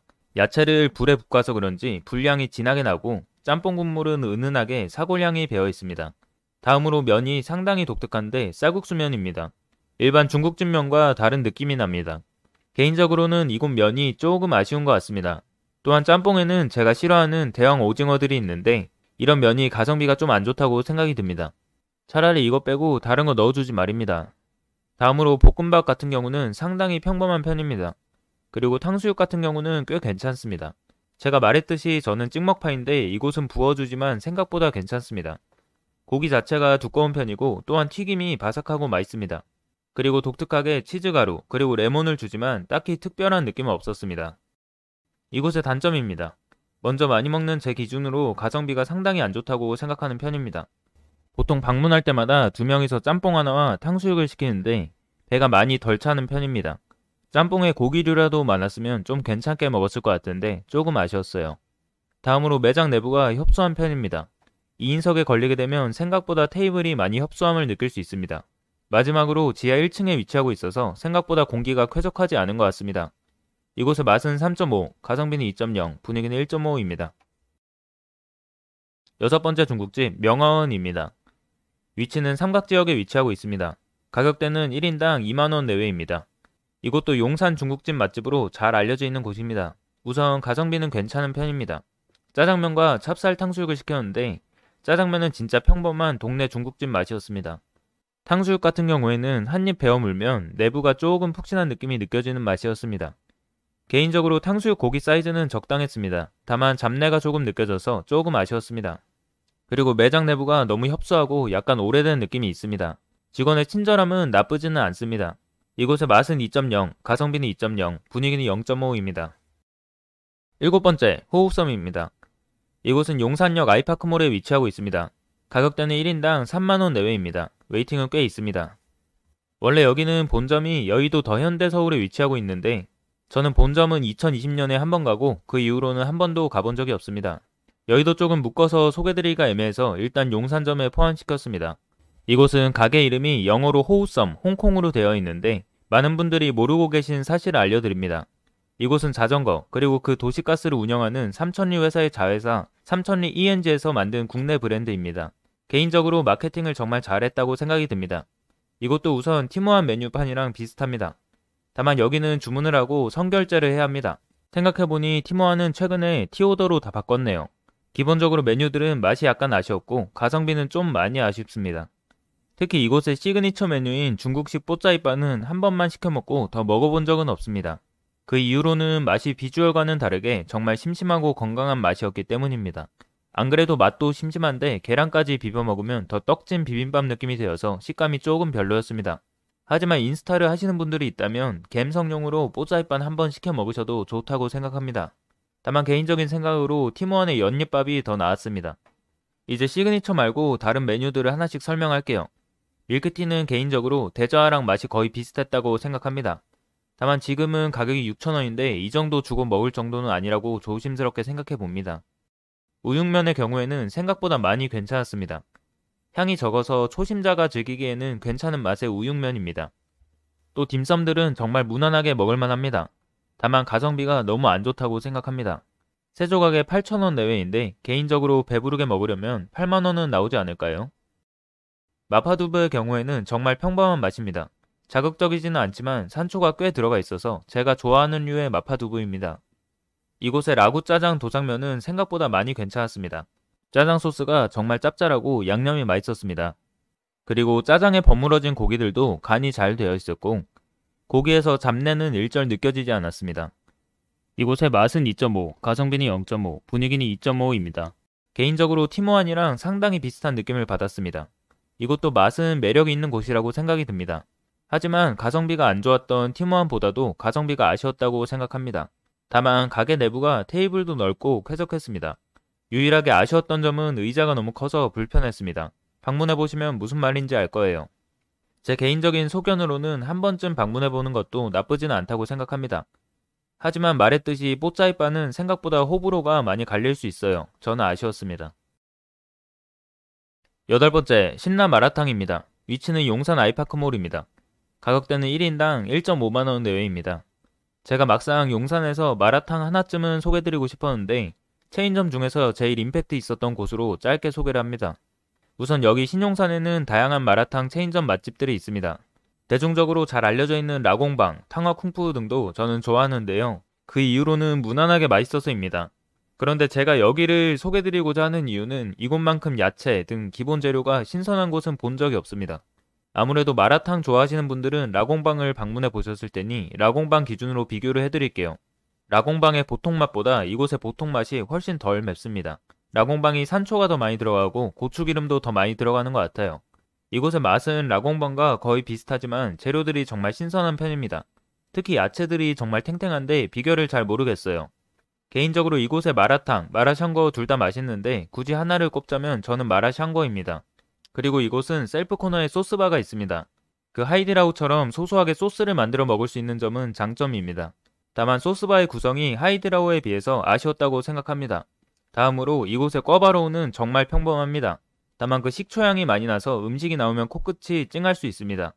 맛은 엄청 바삭하다는 느낌이 일절 없고 그냥 어 맛있네 이런 느낌입니다. 이곳의 맛은 3.0, 가성비는 2.0, 분위기는 2.0입니다. 다만 단점은 내부는 쾌적하지만 테이블 크기가 너무 작다고 생각합니다. 야채의 신선함을 생각하고 이곳을 방문하신다면 제 평점이 이해가 되실 겁니다. 중국집이 다 끝났네요. 이제 여러분들 매니악층이 있는 피자 파스타입니다. 피자는 제가 정말 좋아합니다. 하지만 저는 솔직히 파스타를 연애 초기에는 많이 먹었지만 요새는 거의 먹지 않습니다. 그 이후로는 파스타를 맛있게 하는 데는 기본 2만원은 주는데 가성비가 너무 아쉽다고 느껴져서입니다.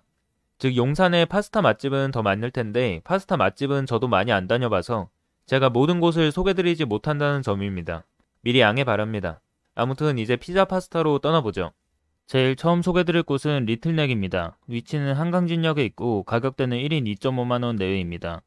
본점은 압구정에 있는데 한남점이 더 널찍하게 되어 있어서 한남점을 추천합니다. 개인적으로 우리나라 파스타 원탑을 꼽으라면 엔드트리, 렁팡스, 이탈리 등이 있겠는데요. 이곳도 그만큼 정말 괜찮았던 편입니다. 이곳의 시그니처는 명란 크림 파스타와 살치살 스테이크입니다. 그런데 저는 살치살 스테이크는 안 먹어봤습니다. 개인적으로 겉만 화려한 이탈리안 레스토랑이 우리나라에 많은데 제가 이곳을 확실하게 기억하는 이유는 이곳이 맛도 있고 퀄리티도 좋아서입니다. 특히 제가 먹물 리조또를 이곳 저곳에서 많이 먹어봤었는데 리조또 밥도 맛있었고 올라가 있는 허브들의 향이 다른 곳들에 비해서 특색이 있었다고 생각합니다. 다만 먹물 리조또가 최애 메뉴였는데 없어져서 조금 아쉽습니다. 하지만 다른 메뉴들도 기본적으로 맛있기 때문에 맛집으로 소개했습니다. 명랑 크림 파스타는 그냥 무난했고요. 아쉽게도 사진을 찍지는 않았네요. 그것보다는 그래도 미트볼이 참신했던 것 같습니다. 이곳의 유일한 단점은 알리오 올리오, 봉골레, 로제 등 흔한 메뉴가 없다는 점입니다. 하지만 그만큼 독특한 메뉴를 제공한다는 점이 장점일 수도 있겠네요. 흔하지 않기 때문에 인스타 감성용으로 충만하다고 생각합니다. 저는 제일 좋아하는 파스타 종류는 까르보나라, 토마토입니다. 그런데 생각보다 우리나라에는 정통 까르보나라를 취급하는 곳이 거의 없습니다. 이곳도 없고요. 다행히 이곳 미트볼 파스타가 토마토 베이스여서 맛있게 먹었습니다. 이곳의 맛은 3.5, 가성비는 2.0, 분위기는 3.0입니다. 개인적으로 한남점이 압구정 본점보다 내부가 넓고 널찍한 느낌이 들어서 더 괜찮았습니다. 두 번째로 소개드리고 싶은 곳은 보니스 피자입니다. 위치는 녹사평역에 위치하고 있고 해방촌까지 좀 걸어야 합니다. 가격대는 1인 2만원 내외이고 웨이팅은 1시간 이상입니다. 현재는 석촌호수에도 분점이 생겼네요. 이곳은 제가 용산 살기 이전부터 자주 오던 곳입니다. 이곳은 배달도 가능합니다. 저는 자주 시켜 먹었는데요. 왜냐하면 가성비도 정말 착했고 우리나라에서 제일 제 입맛에 맞았던 피자집이었기 때문입니다. 하지만 잭슨 피자가 생기고 나서 요새는 가끔 땡길 때만 먹습니다. 우선 이곳의 시그니처 메뉴는 페페로니와 하와이안 피자입니다. 제가 10회 이상 먹어본 경험으로 몇 가지 메뉴를 추천해 주자면 제 입맛에 가장 맞는 두 가지는 페페로니와 치즈입니다. 페페로니 홀 사이즈로 먹어도 좋지만 이왕 방문하시는 거 두 가지만 먹어봐야죠. 카니보어는 맛있지만 개인적으로 약간 아쉽습니다. 파인애플을 좋아하신다면 하와이안도 괜찮습니다. 하와이안 피자는 파인애플이 메인으로 들어가기 때문에 호불호가 상당히 갈리는 맛입니다. 이곳은 매장에 방문하게 되면 주문을 영어로 받습니다. 실제로 직원들도 다들 외국인입니다. 맥주는 그냥 평범합니다. 다만 가성비 안 좋습니다. 그리고 내부는 생각보다 되게 정신없고 어둡고 쾌적하지 않습니다. 그냥 동네 펍 같은 느낌이에요. 기본적으로 피자의 맛은 다 정말 짠 편입니다. 그리고 가격대는 정말 합리적인 가격이라고 생각합니다. 또 여기서 방문해서 드실 분들은 피자 도우를 씀 말고 팬으로도 할 수 있습니다. 추가 요금이 없어서 괜히 이득인 느낌이고 생각보다 맛도 괜찮습니다. 다만 시켜 먹으실 경우에는 심 피자밖에 먹지 못합니다. 이곳의 맛은 3.5, 가성비는 3.5, 분위기는 1.5입니다. 개인적으로 웨이팅이 많기 때문에 지방에서 오시는 분들은 포장이나 배달을 해서 호텔에서 먹는 것도 방법이라고 생각됩니다. 다만 배달의 경우 조기 마감 될 수 있으니 참고하세요. 세 번째로 소개드릴 곳은 잭슨 피자입니다. 위치는 이곳저곳에 있습니다. 가격대는 한 판 기준 3만원 내외입니다. 본점은 원래 이태원점이라고 하는데 잘 모르겠습니다. 일단 이곳도 정말 마케팅을 잘했다고 생각합니다. 간판부터 딱 봐도 미국에서 팔 법한 미국식 매장의 느낌이 나서 대부분의 사람들이 미국에서 온 피자집으로 알고 있는데 알고 보면 한국 토종 가게입니다. 제가 미국에서 2년여간 살면서 잭슨 피자를 본 적이 한 번도 없었는데 찾아보니 한국 기업이라고 하네요. 컨셉을 참 잘 잡은 것 같습니다. 여담이지만 제가 미국에서 특히 맛있게 먹었었던 피자 체인점은 더 라운드 테이블이었습니다. 아무튼 이곳은 제가 한국에서 제일 맛있는 피자집이라고 단언하는 곳입니다. 다만 유일하게 아쉬운 점은 가성비입니다. 우선 저는 이곳에서 피자를 참 많이 시켜 먹었었는데 마찬가지로 메뉴 추천을 해드리자면 페페로니, 페페로니 딜라이트, 슈퍼 잭슨 정도가 있겠습니다. 이곳은 어차피 다른 메뉴도 다 비슷하게 맛있어서 어떤 메뉴를 시키시던 맛있게 먹으실 것으로 기대됩니다. 이곳 매장의 제일 특색점은 도우입니다. 제가 상당히 감동받았던 부분은 이 도우인데 이곳 도우는 정말 바삭하면서 쫄깃합니다. 일반 다른 피자집에 비해서 정말 바삭한 편이고 뭔가 콜라가 없어도 잘 넘어가는 아름다운 맛이에요. 또 다른 특색으로는 핫소스 대신에 레드 칠리 소스를 줍니다. 그냥 말린 고춧가루인데 저는 잘 안 먹어서 그냥 모아뒀습니다. 다만 이곳에 단점도 있는데 우선 가격대가 상당히 아쉬운 편입니다. 제가 많이 먹는 편이라 보통 라지를 시키는데 라지 기준 페페로니는 28,000원, 슈퍼 잭슨은 38,000원입니다. 라지 사이즈는 2명이서 먹기에 적당한 사이즈입니다. 총 8조각이 나오고요. 잘 먹는 사람 기준 억지로 한 판 다 먹을 수 있습니다. 다음으로 맛이 정말 짭니다. 아무래도 내부에 토마토 페이스트가 두껍게 칠해져 있어서 더 짠 면도 있지 않나 싶습니다. 개인적으로는 토마토와 짠 음식을 좋아하는 편이기 때문에 상당히 만족스러운 편입니다. 마지막으로 저는 한 번도 매장에서 먹어본 적은 없습니다. 매장 내 식사가 불가능한 매장도 있으니 방문 전에 찾아보세요. 이곳의 맛은 4.0, 가성비는 1.5, 분위기는 0입니다. 제가 매장에서 먹어본 적이 없어서 분위기는 평가하지 못하겠네요. 서울에 놀러 왔는데 호텔에서 야식으로 먹을 게 없다면 이 잭슨 피자를 강력하게 추천합니다. 네 번째로 소개드릴 곳은 피제리아 오입니다. 이곳은 이태원 해방촌에 있습니다. 1인당 가격은 2만원 내외입니다. 본점은 대학로에 있는데 대학로에서 가본 적이 없기 때문에 여기서 소개를 합니다. 저는 솔직히 처음 들어봤지만 피자 월드컵 챔피언 이진영 선생님께서 운영하시는 체인점인데요. 베스트 메뉴는 마르게리타와 콰트로 풍기였는데 저희는 콰트로 풍기와 크림 까르보나라를 시켰습니다. 개인적으로 콰트로 풍기를 시킨 이유는 이름 뜻답게 한국에서 접하기 어려운 이탈리아산 버섯 4가지를 접할 수 있어서 시켰습니다. 피자의 맛은 그냥 무난했지만 개인적으로 맛이 특색이 있습니다. 도우가 정말 쫄깃하고 바삭했습니다. 그리고 이곳은 피자뿐만 아니라 파스타도 취급하고 있습니다. 개인적으로 파스타 피자 그냥 다 무난했습니다. 다만 피자가 생각보다 얇아서 양은 그냥 적당했습니다. 이곳의 맛은 2.5, 가성비 2.0, 분위기 1.5입니다. 근처에 그랜드 하얏트 호텔이 있어서 야식으로 피자나 맥주 먹기 딱 좋아 보이는 곳이라고 생각합니다. 다만 이곳이 역에서 먼 곳에 위치하고 있어 일반 관광객들이라면 굳이 이곳까지 방문해야 하나라는 생각이 듭니다. 다섯 번째는 피자 누오보입니다. 위치는 삼각지역에 있습니다. 가격대는 1인 2만원 내외입니다. 이곳은 전쟁 기념관 맛집으로 소개되어 있는 곳인데요. 개인적인 생각으로 무난하긴 합니다. 이곳의 장점은 가게 내부가 쾌적하고 테이블 간 간격이 넓다는 점입니다. 그래서 편하게 식사를 할 수 있다는 점은 장점입니다. 맛은 약간 아쉬웠습니다. 샐러드가 그래도 푸짐하고 맛있는 편이었습니다. 이곳의 맛은 1.5, 가성비 1.5, 분위기 2.0입니다. 전쟁 기념관 방문 겸 근처에서 피자를 먹고 싶으시면 이곳 가셔도 될 것 같은데 제 생각으로는 잘 모르겠습니다. 여섯 번째는 매드포갈릭입니다. 위치는 용산 아이파크몰에 있습니다. 개인적으로 매드포갈릭은 너무 흔히 볼 수 있는 곳이라 소개를 안 할까 했는데 이곳 용산점은 정말 분위기가 괜찮아서 소개를 했습니다. 여기 용산 지점을 방문해 보신 분은 알겠지만 분위기만은 합격이라고 생각합니다. 뭐 아쉽지만 제가 딱히 추천해주고 싶은 메뉴는 없습니다. 개인적으로 맛들이 너무 평범한 맛이었고 맛있지는 않았다고 생각합니다. 또한 가성비도 제 개인적인 생각으로는 많이 아쉽다고 생각합니다. 다만 인스타 갬성 좀 채우려고 무난하게 기분 좀 내볼까 라는 생각을 가지고 계신 분은 이곳에 와서 사진을 열심히 찍고 가셔도 무방하다고 생각합니다. 이곳의 맛은 2.0, 가성비는 1.5, 분위기는 3.5입니다. 일곱 번째는 시그니처 랩입니다. 위치는 용산 아이파크몰에 있습니다. 소개팅하기 괜찮은 무난한 체인점으로 잘 알려져 있죠. 개인적으로 이곳은 깔끔하게 잘 되어 있지만 고기류가 특히 아쉬웠다고 생각합니다. 바베큐 plate는 솔직하게 말해서 훈제향 나는 미국 햄이 그나마 제일 나았고 다른 건 다 못 먹었습니다. milk foam 리조또는 밥알이 떡밥 같은 느낌이라 호불호 갈립니다. 이곳의 평점은 맛 1.0, 가성비 2.0, 분위기 2.0입니다. 개인적인 생각이지만 소개팅 전용 무난한 체인점 중에서는 매드포갈릭이 더 낫다고 생각합니다. 네, 이제 용산구 피자 파스타는 여기까지입니다. 다음 주제는 이제 펍, 와인바인데요. 신용산 삼각지 일대랑 홍대 연남동 쪽이 최근 몇 년 사이에 와인바가 상당히 발전했습니다. 요새 젊은 MZ세대가 인스타 갬성이 충만해서 아마 이런 게 더 흥하지 않나 생각이 들고요. 10년 전부터 와인을 많이 좋아했던 사람으로서 다양한 와인바에 방문을 해서 가격을 실제로 비교해보면 코스트코 소매가 기준 최소 3배는 차이가 나는 것 같아요. 도매가 기준으로는 10배까지도 차이 나는 곳들도 많지 않을까 싶습니다. 원래 와인은 물보다 싸다는 표현이 맞을 정도로 정말 저렴한 편에 속하는데 한국 와서 너무 고급스러운 이미지로 박혀 있습니다. 골프도 마찬가지죠.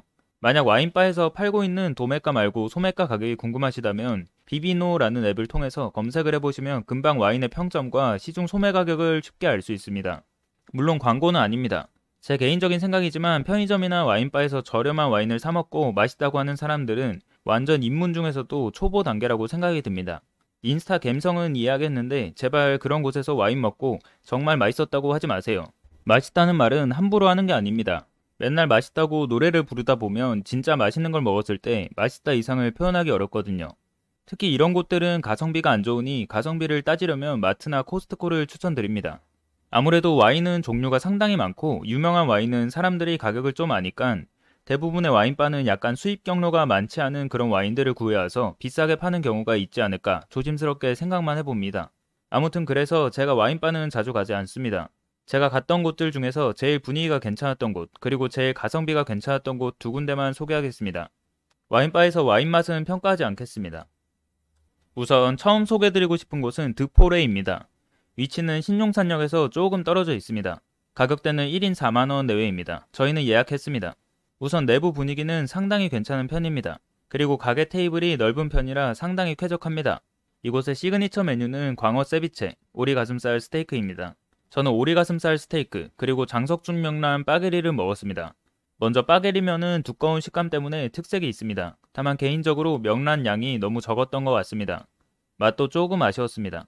간은 짭짤하게 잘 되어 있습니다. 오리 가슴살의 경우에는 비린향이 많이 났던 것 같습니다. 저는 원래 본연의 맛을 좋아해서 소스 없이 먹는 편인데 저도 소스에 찍어 먹었습니다. 사이드 반찬은 꽤 괜찮았습니다. 뭔지 잘 모르겠는데 절인 체리와 오렌지 향이 느껴지는 무였어요. 기본적으로 와인바답게 양이 정말 적었습니다. 저는 메뉴 4개 정도는 시켜야 배가 부르지 않을까 싶어요. 이곳의 맛은 1.0, 가성비는 0.5, 분위기는 3.5입니다. 인스타 갬성을 느끼고 싶으신 분은 드포레를 방문하셔도 무방합니다. 드폴에 가는 근처 길거리가 상당히 낙후된 곳인데 이곳은 확실히 분위기도 괜찮습니다. 두 번째로 소개드리고 싶은 곳은 빈 공간입니다. 위치는 서울역 근방에 있습니다. 가격대는 1인 4만원 내외입니다. 이쪽 동네는 언덕길이 많습니다. 그리고 동네가 낙후된 느낌이 납니다. 이곳은 와인바 중에서도 상당히 가성비가 좋은 편입니다. 기본적으로 양과 가격은 해자인 편입니다. 맛 같은 경우는 무난하게 먹을만 합니다. 와인바들이 보통 음식 양이 적지만 이와 별개로 음식을 괜찮게 하는 곳들이 꽤 있습니다. 이곳이 그런 곳 중 하나라고 생각이 듭니다. 로제 파스타는 제가 파스타 편에서 설명드린 파스타 잘하는 곳에 비해서는 아쉬웠지만 그래도 무난하게 먹을만 했습니다. 하몽과 멜론의 경우에는 가성비, 양, 맛이 약간씩 아쉬웠다고 생각합니다. 특히 하몽양이 적었던 것 같습니다. 또 이곳은 테이블은 널찍하고 괜찮은 편이지만 인스타 갬성을 느끼기에는 약간 부족함이 있는 것 같습니다. 이곳의 맛은 2.5, 가성비는 2.0, 분위기는 2.5입니다. 와인바는 이 정도로 하고요. 연남동 쪽 와인바도 몇 군데 다녀봤지만 용산이나 연남동이 가격대도 비슷하고 분위기도 비슷한 것 같습니다. 말했듯이 저는 와인을 먹고 싶으면 집에서 주로 먹습니다. 아주 가끔씩 특별한 날에 가는 편인데 개인적으로는 갈 때마다 실망을 많이 하는 편입니다. 차라리 고급 레스토랑이나 호텔 뷔페가 더 괜찮다고 생각합니다. 다만 주차할 수 없이 돈이 넘쳐나시는 분들은 와인바 방문하셔도 무방하다고 생각합니다. 아무래도 한국 와인바가 젊은 MG 감성을 저격을 잘한 것 같습니다. 맛없는 음식과 와인을 마셔도 일단 인생 와인이다 하면서 인스타에 올리는 감성이 여기 신용산 일대를 더 와인바 메카로 바꾸지 않았나 싶습니다. 몇 년 지속될지는 모르겠지만 언젠간 이런 트렌드가 바뀌지 않을까 싶습니다. 다음 주제는 한식입니다. 매니아층이 생각보다 많은 걸로 알고 있는데 용산에 유명하다고 알려져 있는 전반적인 한식 맛집들을 다 소개하겠습니다. 먼저 소개드리고 싶은 곳은 문배동 6할입니다. 이곳은 삼각지역 근처에 있습니다. 가격대는 1인 1만원 내외입니다. 웨이팅은 평일에도 꽤 있는 편이지만 회전율이 빠르고 매장 내부에 좌석이 많아서 금방 빠지는 편입니다. 이곳은 생각보다 맛있는 곳인데요. 제가 살면서 이곳만큼 육개장을 잘하는 곳을 별로 못 봤습니다. 아 생각하니까 또 군침이 도네요. 6할의 의미답게 메뉴는 육개장에 칼국수 면이 들어갑니다. 6할 대신 육개장을 시키게 되면 칼국수 절반, 공깃밥 절반이 나옵니다. 처음 방문이시면 6할 말고 육개장을 추천합니다. 면과 밥 모두 즐길 수 있거든요. 메뉴는 둘 다 가격이 1만원입니다. 가격이 비싸 보일 수 있지만 면 양을 생각하면 상당히 가성비가 괜찮습니다. 그리고 이곳은 메뉴가 참 빨리 나옵니다. 느낌상 30초 정도면 나와요. 바로 맛 평가합니다. 우선 맛은 진한 그 육개장이 맞습니다. 맵기 정도는 신라면으로 비교했을 때 0.5 신라면 정도입니다. 딱 적당한 정도이죠. 그리고 육개장 내부에 고기는 적당히 있는 편이고 잡내는 일절나지 않습니다. 육개장의 맛은 흠잡을 데 없이 깔끔한데 그렇다고 감동이 느껴진다는 아닙니다. 그냥 진짜 육개장의 정석이에요. 다음으로 반찬의 경우에는 지극히 평범합니다. 모두 신선하고 특이한 느낌은 없습니다. 김치가 약간 덜 익힌 김치다 정도 되겠네요. 또한 면은 정말 평범하고 밥도 정말 평범합니다. 면은 그냥 그 평범한 칼국수면인데 생각보다 육개장이랑 잘 어울립니다. 이제 매장 내부입니다. 개인적으로 가게가 너무 낙후되었고 테이블 간 간격이 너무 좁습니다. 또한 직원들에게서 친절하다는 느낌은 일절 받지 못했습니다. 다만 만족스러운 점은 테이블 크기가 4인석짜리 테이블인데 4인 기준으로는 크기가 작지만 2명이 방문하게 되면 널찍하게 테이블을 사용할 수 있습니다. 이곳의 맛은 3.5, 가성비는 3.0, 분위기는 0.5입니다. 평일에도 waiting이 상당한 편이니 비주류 시간에 방문하도록 하세요. 두 번째 추천드릴 곳은 강원정입니다. 위치는 서울 남영역 쪽에 위치하고 있습니다. 가격대는 1인 2만원 내외입니다. 서울 3대 삼계탕집으로 오르내리는 곳인데요. 그만큼 이곳의 삼계탕은 특색 있는 삼계탕입니다. 이곳을 저녁에 방문하실 분들은 방문 전에 미리 전화하고 가보세요. 그날 닭이 다 팔리는 경우에는 영업시간보다 빨리 종료하기 때문에 허탕을 칠 수 있습니다. 다음으로 가게 내부입니다. 정말 허름하게 생겼고 실제로 영업 종료 시간 근방에 가게 되면 이렇게 닭을 손질하는 모습도 볼 수 있습니다. 생각보다 고된 작업처럼 보입니다. 또한 이곳 매장의 단점은 좌식입니다. 거의 대부분의 좌석이 신발 벗고 들어와서 방바닥에 앉아서 먹어야 합니다. 저는 이런 곳이 다리가 저리기 때문에 약간 불편합니다. 메뉴는 삼계탕만 먹어봤습니다. 가격은 17,000원인데요. 생각보다 비싼 편에 속합니다. 바로 이곳의 맛 평가할게요. 일반적인 삼계탕 가게들과 비교했을 때 국물 자체가 정말 찐득하고 깊습니다. 또 정말 건강한 맛이 납니다. 삼계탕 국물이 인삼 베이스입니다. 재료들은 정말 신선하고 특히 닭의 식감이 좋습니다. 사이즈는 작은 닭이지만 정말 탱탱한 식감이 살아 있습니다. 추가로 인삼주를 주는데 이건 아재 전용입니다. 맛은 단맛 없는 인삼주 맛입니다. 개인적인 생각으로 이곳 삼계탕은 아재들이 딱 좋아하지 않을까 싶습니다. 정말 건강해지고 몸보신 되는 느낌이 납니다. 저 또한 몸이 든든하고 수명이 증가되는 느낌을 받았습니다. 이곳의 맛은 3.0, 가성비는 2.0, 분위기는 0.5입니다. 이곳은 재차 말하지만 일반적인 삼계탕과는 다르게 특색 있는 맛이 느껴집니다. 기본적으로 삼계탕에 안 들어가는 잣 등뿐만 아니라 국물 자체의 맛이 일반적인 삼계탕과는 다르거든요. 개인적으로 용산 사람이 아닌 경우에도 한 번쯤은 방문해 보는 것도 좋다고 봅니다. 다만 단점은 가게 내부가 정말 오래된 느낌이라는 것입니다. 대신 직원들은 친절한 편입니다. 세 번째로 소개드리고 싶은 곳은 일미집입니다. 위치는 숙대입구역에서 조금 떨어져 있습니다. 가격대는 1인 1만원 내외입니다. 이곳은 감자탕을 전문적으로 취급하는 곳입니다. 다만 여러분이 생각하는 감자탕과는 다른 느낌의 감자탕인데요. 개인적으로 독특한 맛 덕분에 가끔씩 생각나는 곳입니다. 오랜 전통답게 가게는 정말 허름한 편입니다. 우선 내부로 들어가게 되면 기도를 해야 합니다.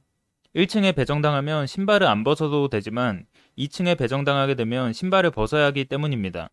일단 자리를 배정받고 나면 바로 주문을 하는데 이곳의 메뉴는 감자탕 백반, 감자탕 두 개입니다. 감자탕 백반과 감자탕은 담는 그릇의 차이밖에 없습니다. 기본적인 반찬들을 먼저 주는데 열무김치와 깍두기입니다. 맛은 무난합니다. 바로 맛 평가 갈게요. 감자탕에 우선 고기가 참 많이 붙어 있습니다. 보통 메이저 체인점 들 가면 살코기가 부실해서 막상 먹을 게 없는 경우가 많은데 이곳은 감자탕이 맞나 싶을 정도로 살코기가 많습니다. 보통 감자뼈는 3덩이 정도 주는데요. 빈 그릇에 알아서 덜어놓고 조금씩 먹으시면 됩니다. 이곳의 국물은 참 독특한데요. 기본적으로 정말 맑습니다. 그리고 맛은 은은하게 달달하면서 칼칼한 국물 맛이 납니다. 굳이 비유를 하자면 매콤한 콩나물국 느낌의 칼칼한 느낌이고 그 국물 맛에 달달한 향이 섞여 있어서 정말 중독되는 맛입니다. 이곳의 맛은 3.0, 가성비는 2.5, 분위기는 1.0입니다. 개인적으로 참 독특한 감자탕이기에 한 번쯤 방문해보는 것도 나쁘지는 않지만 분위기는 기대하기 어렵습니다. 네 번째로 소개드리고 싶은 곳은 옛집입니다.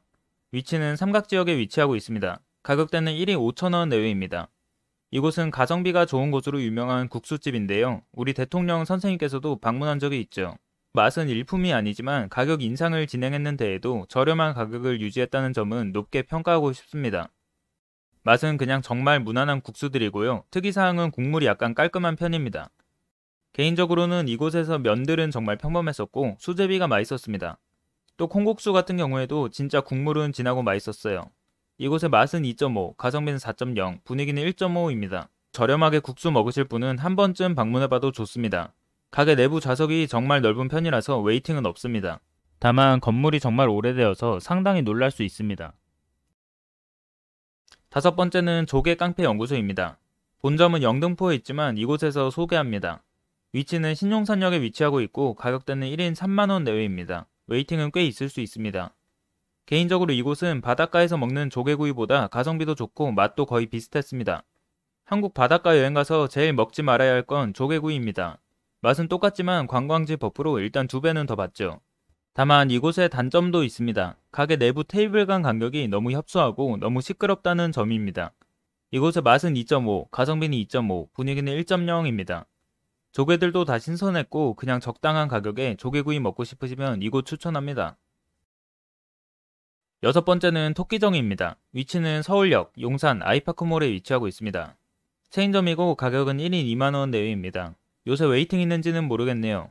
본점은 강남으로 알고 있었는데 요새 강남점이 안 보이네요. 이곳은 소개할까 말까 하다가 많은 분들이 알고 있어서 소개를 했습니다.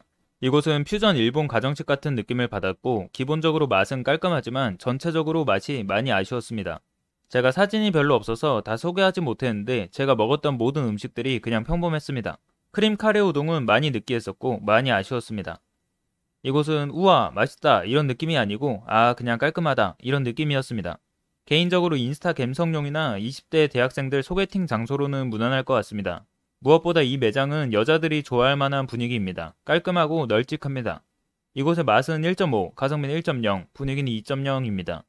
저는 살면서 두 번 방문했는데 요새는 갈 일이 없네요. 한식은 이쯤 설명하면 될 것 같습니다. 이제 마지막 주제인데요. 햄버거입니다. 햄버거는 과거 수제버거가 유행하고 나서 많이 상향 평준화되었다고 생각합니다. 2015년 정도부터 많이 유행하기 시작하고 수준들이 다 너무 높아졌습니다. 뭐 길버트 버거 앤 프라이즈, 다운타우너, 바스버거, 범패티번, 브루클린 더 버거 조인트, 쉐이크쉑, 폴트버거, 프랭크버거 등등 수많은 대부분의 체인점들이 다 맛있긴 해요. 용산구에서 이렇게 체인점들 하나하나를 소개하는 건 별로 의미 없을 것 같고 가장 무난한 체인점인 쉐이크쉑 그리고 특별히 제가 인상 깊게 먹었던 곳 한두 군데를 소개하겠습니다. 먼저 첫 번째는 쉐이크쉑입니다. 위치는 전국 각지에 있고 가격대는 1인 1.5만원 내외입니다. 옛날에 본점이 강남에 2017년인가 생겼었는데 그때 처음 1시간 줄 서서 먹고 실망을 많이 했었던 기억이 있습니다. 아무튼 이곳은 수제버거라고 해야 할 것 같네요. 기본적으로 메뉴는 세트가 없어서 아쉽습니다. 일반적으로 버거킹 가면 세트가 다 있는데 이곳은 세트가 없고 보통 햄버거, 감튀, 음료수 이렇게 시킵니다. 햄버거는 뭐 그냥 평범한 수제버거 맛이고요. 프렌치 프라이는 좀 아쉬운 맛입니다. 바삭해야 더 맛있는데 그 너무 두꺼워서 바삭해지기 어려운 구조입니다. 가성비는 단품이 7,700원, 세트가 12,500원이라서 좋지 않은 편입니다. 메뉴는 다 먹어봤었는데 슈룸버거는 특히 너무 아쉬웠고 차라리 기본이 제일 나았습니다. 마지막으로 쉐이크는 굳이 먹을 필요는 없습니다. 저는 사이다가 더 어울린다고 생각합니다만 사이다 가격이 많이 비싸서 쉐이크 먹는 것도 좋아 보입니다. 또 매달 22일에는 쉑데이라고 해피포인트 앱에서 쿠폰 주니까 방문하실 분들은 참고하세요. 이곳의 맛은 2.5, 가성비 2.0, 분위기 2.0입니다. 아이파크몰 지점이 특히 분위기가 제일 괜찮아요. 자리도 넓고 천장도 넓고 브런치 카페 같은 쾌적한 느낌을 많이 받았습니다. 두 번째로 소개드리고 싶은 곳은 자코비 버거입니다. 이곳은 이태원 해방촌에 있고요. 가격은 1인 1만원 내외입니다. 예전에 자주 갔었는데 사진이 하나밖에 없어서 소개를 안 할까 하다가 용산에서 제일 named가 있는 곳이지 않나 싶어서 소개했습니다. 이곳 시그니처 메뉴인 내장 파괴버거는 먹어본 적 없고요. 제가 아마 마지막 방문이 2년 전이라서 솔직히 맛 평가가 기억나지 않습니다.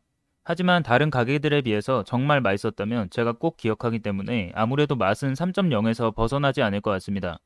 이곳의 맛은 3.0, 가격과 분위기는 기억이 안 나요. 죄송합니다. 아무래도 상향 편준화된 햄버거의 맛으로 감동을 받기는 참 어려운 것 같습니다. 세 번째로 소개하고 싶은 곳은 침스버거입니다. 이곳은 삼각지 하플에 있고요. 가격대는 1인 1.5만원 내외입니다. 개인적으로 이곳은 쉐이크쉑 대비 맛도 더 좋고 가성비도 좋은 곳이라고 생각합니다. 특히 특색 있는 음식도 있는데 가지튀김입니다. 이곳은 기본적으로 패티가 쉐이크쉑보다 더 두꺼운 편입니다. 야채류는 상당히 적게 들어있지만 간이 잘 되어 있어서 사이다 없이도 잘 들어가는 햄버거입니다. 특히 이곳은 더블버거의 가성비가 좋다고 생각합니다. 9,800원인데 쉐이크쉑으로 비교하면 패티 3장이 들어간 느낌이에요. 다만 이곳에 단점도 있는데 우선 매장 내부가 상당히 협소하고 냄새가 빠지기 어려운 구조입니다. 다음으로 세트 메뉴가 가성비가 안 좋습니다. 그래서 사이다를 따로 시켜야 하는데 2,500원에 캔음료 먹는다고 생각하니 가성비가 괜히 안 좋다고 생각이 듭니다.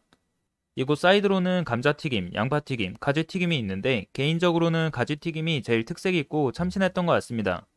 이곳의 맛은 3.0, 가성비는 3.0, 분위기는 1.5입니다. 이곳의 평점이 상당히 높긴 하지만 개인적인 생각으로는 굳이 이렇게까지 특색이 있는 건 아니라고 생각합니다. 다만 가성비 조금 좋고 가지튀김 참신하다 정도입니다. 마지막으로 소개하고 싶은 곳은 라카 두들입니다. 이곳은 이태원 녹사평역에 위치하고 있고요. 가격대는 1인 1만원 내외입니다. 이곳도 외국인이 직접 운영하는 곳이고 내시빌 스타일 햄버거 전문점입니다. 개인적으로 저는 치킨 햄버거보다는 그냥 소고기 햄버거를 상당히 좋아하는 편인데 이곳의 치킨 햄버거는 생각보다 많이 맛있습니다. 또 이곳은 맵기를 정할 수 있는데 그냥 1단계 먹으시면 무난하게 즐길 수 있습니다. 내부는 생각보다 협소하지만 테이블 간 간격이 넓어서 괜찮습니다. 그리고 감자튀김 같은 경우에는 무난합니다. 우리나라에서 치킨버거 맛집이라고 하면 이쪽이랑 르프리크가 거론되는데 개인적으로는 둘 다 괜찮습니다. 두 개를 놓고 정확하게 비교하지 않아서 우월을 가리기 어렵네요. 다만 여기 라카두들이 더 매콤합니다. 이곳의 맛은 3.0, 가성비는 2.5, 분위기는 1.0입니다. 개인적으로 햄버거는 뭐 그냥 대부분 유명 가게에서 먹으면 다 맛있었던 것 같아요. 뭐 고든 램지 버거 가도 거의 비슷한 느낌을 많이 받았습니다. 오히려 트러플 감자튀김, 고구마 튀김 시켰었는데 서빙 그릇에 한번 쏟고 양이 쥐똥만 해서 두 번 울기까지 했지요. 물론 제가 거기서 14만원짜리 한우버거는 먹지 않았습니다. 가성비 0일 것 같아서요. 아무튼 그만큼 한국에는 햄버거 맛집들이 많아졌다라고 생각을 할 수 있겠네요. 지금까지 용산 맛집 리스트들이었습니다. 마지막으로 용산에서 이것쯤은 꼭 먹어봐야 한다는 곳을 몇 군데 추려줄게요. 강원정, 구복만두, 라이너스 바베큐, 몽탄, 문배동 육칼, 보니스 피자, 부다스밸리, 북천, 브라이 리퍼블릭, 일미집. 이 정도는 체인점도 거의 없고 용산에서만 먹을 수 있는 맛입니다. 즉 용산 거주민이 아니더라도 이곳까지 방문해서 먹어볼 가치가 있는 곳들입니다. 체인점이 많은 곳들은 추천하지 않았어요. 또 용산에 생각보다 볼 곳들이 많아서 관광지 리스트도 같이 정리하려고 했는데 막상 맛집 리스트가 너무 길었기 때문에 관광지 편은 따로 영상을 제작할 예정입니다. 그리고 다음 편은 종로구 그리고 명동이 있는 중구 맛집인데 그 전에 마지막으로 제가 드리고 싶은 말이 3개 있습니다. 첫 번째는 아 너 나름 맛집 전문가라더만 여기 안 가봤어? 함 평가 좀 해줘봐. 이러시는 분들은 진짜 맛집 한두 개만 엄선해서 저한테 알려주시면 됩니다. 제가 용산 거주민이지만 저도 사람인지라 다 못 돌아봤을 거예요. 다만 맛이 없다면 제가 뚝배기 깨러 갑니다잉. 네 장난이고요. 아무튼 맛있다고 추천하시기 전에 한 번 더 생각해 주세요. 제가 객관적으로 평가하도록 하겠습니다. 두 번째입니다. 외국에서 놀러 오시거나 지방에서 아마 서울로 올라오시면 보통 서울역으로 오시는 경우가 많은데 서울역이나 용산역은 용산구에 속해 있습니다. 그만큼 용산구는 교통의 메카입니다. 그래서 외지인들이 보통 거치게 되는 곳 중 하나가 용산이죠. 용산에 도착한 기념으로 뭔가를 먹고 싶으시다면 제 영상을 꼭 참고해서 본인 입맛에 맞는 곳을 찾길 바랄게요. 본인이 맛보다는 갬성파인 경우는 분위기 평점 높은 곳 가시거나 제가 인스타 갬성용으로 소개한 곳들 가시면 되고요. 정말 맛있는 곳을 원한다. 이러면 맛 평점이 높은 곳 방문하시면 됩니다. 진짜 맛집들만 엄선했으니까 믿고 드셔도 됩니다. 다만 유명하지만 맛이 아쉬웠던 가게들도 포함되어 있으니 본인들이 알아서 잘 평가해보고 결정해보세요. 세 번째입니다. 제가 소개한 맛집들도 막상 네이버 평점들을 찾아보면 참 다양합니다. 네이버 평점이 훨씬 높은데 제가 기대 이하였던 곳도 있고 평점이 꽤 낮은데도 정말 맛있었던 곳도 있습니다. 그만큼 평점 하나로는 가게의 맛, 가성비, 분위기 등을 종합적으로 표현하기 어려운 것도 있습니다. 또 방문하는 식당의 연령대, 전문성 등이 차이가 날 수도 있겠죠. 하지만 이런 것도 그렇지만 여러분 생각보다 네이버, 구글, 카카오 평점 관련해서 알바들이 많은 것도 사실입니다. 개인적으로는 평점 자체는 소비자들의 솔직한 의견이 반영되어야 한다고 생각합니다. 지금처럼 평점에서까지 알바가 판치는 세상은 우리 소비자들에게 피해를 준다고 생각하거든요. 게다가 네이버 영수증 리뷰, 구글 리뷰 이런 것도 광고가 많은데 저는 소비자의 권리를 위해 이런 부분은 법적 개선까지 필요하다고 생각합니다. 특히 협찬을 받아놓고 문구도 없이 광고하는 유튜버, 블로거들도 실제로 많습니다. 차라리 광고 표시라도 하면 양반인데 광고 표시도 안 하고 자연스럽게 홍보하는 이런 사람들은 사기꾼보다 더한 악질이라고 생각하는 편입니다. 예를 들어 제가 이런 평점 보고 여행 가서 평점 높은 곳 가서 밥 먹었는데 막상 정말 맛도 별로고 분위기도 곱창 났으면 소중한 제 시간도 날리고 기분도 날리게 되거든요. 이런 유혈 사태가 발생하지 않도록 제가 앞으로 맛집을 하나하나씩 최대한 객관적으로 정리해 나가도록 하겠습니다.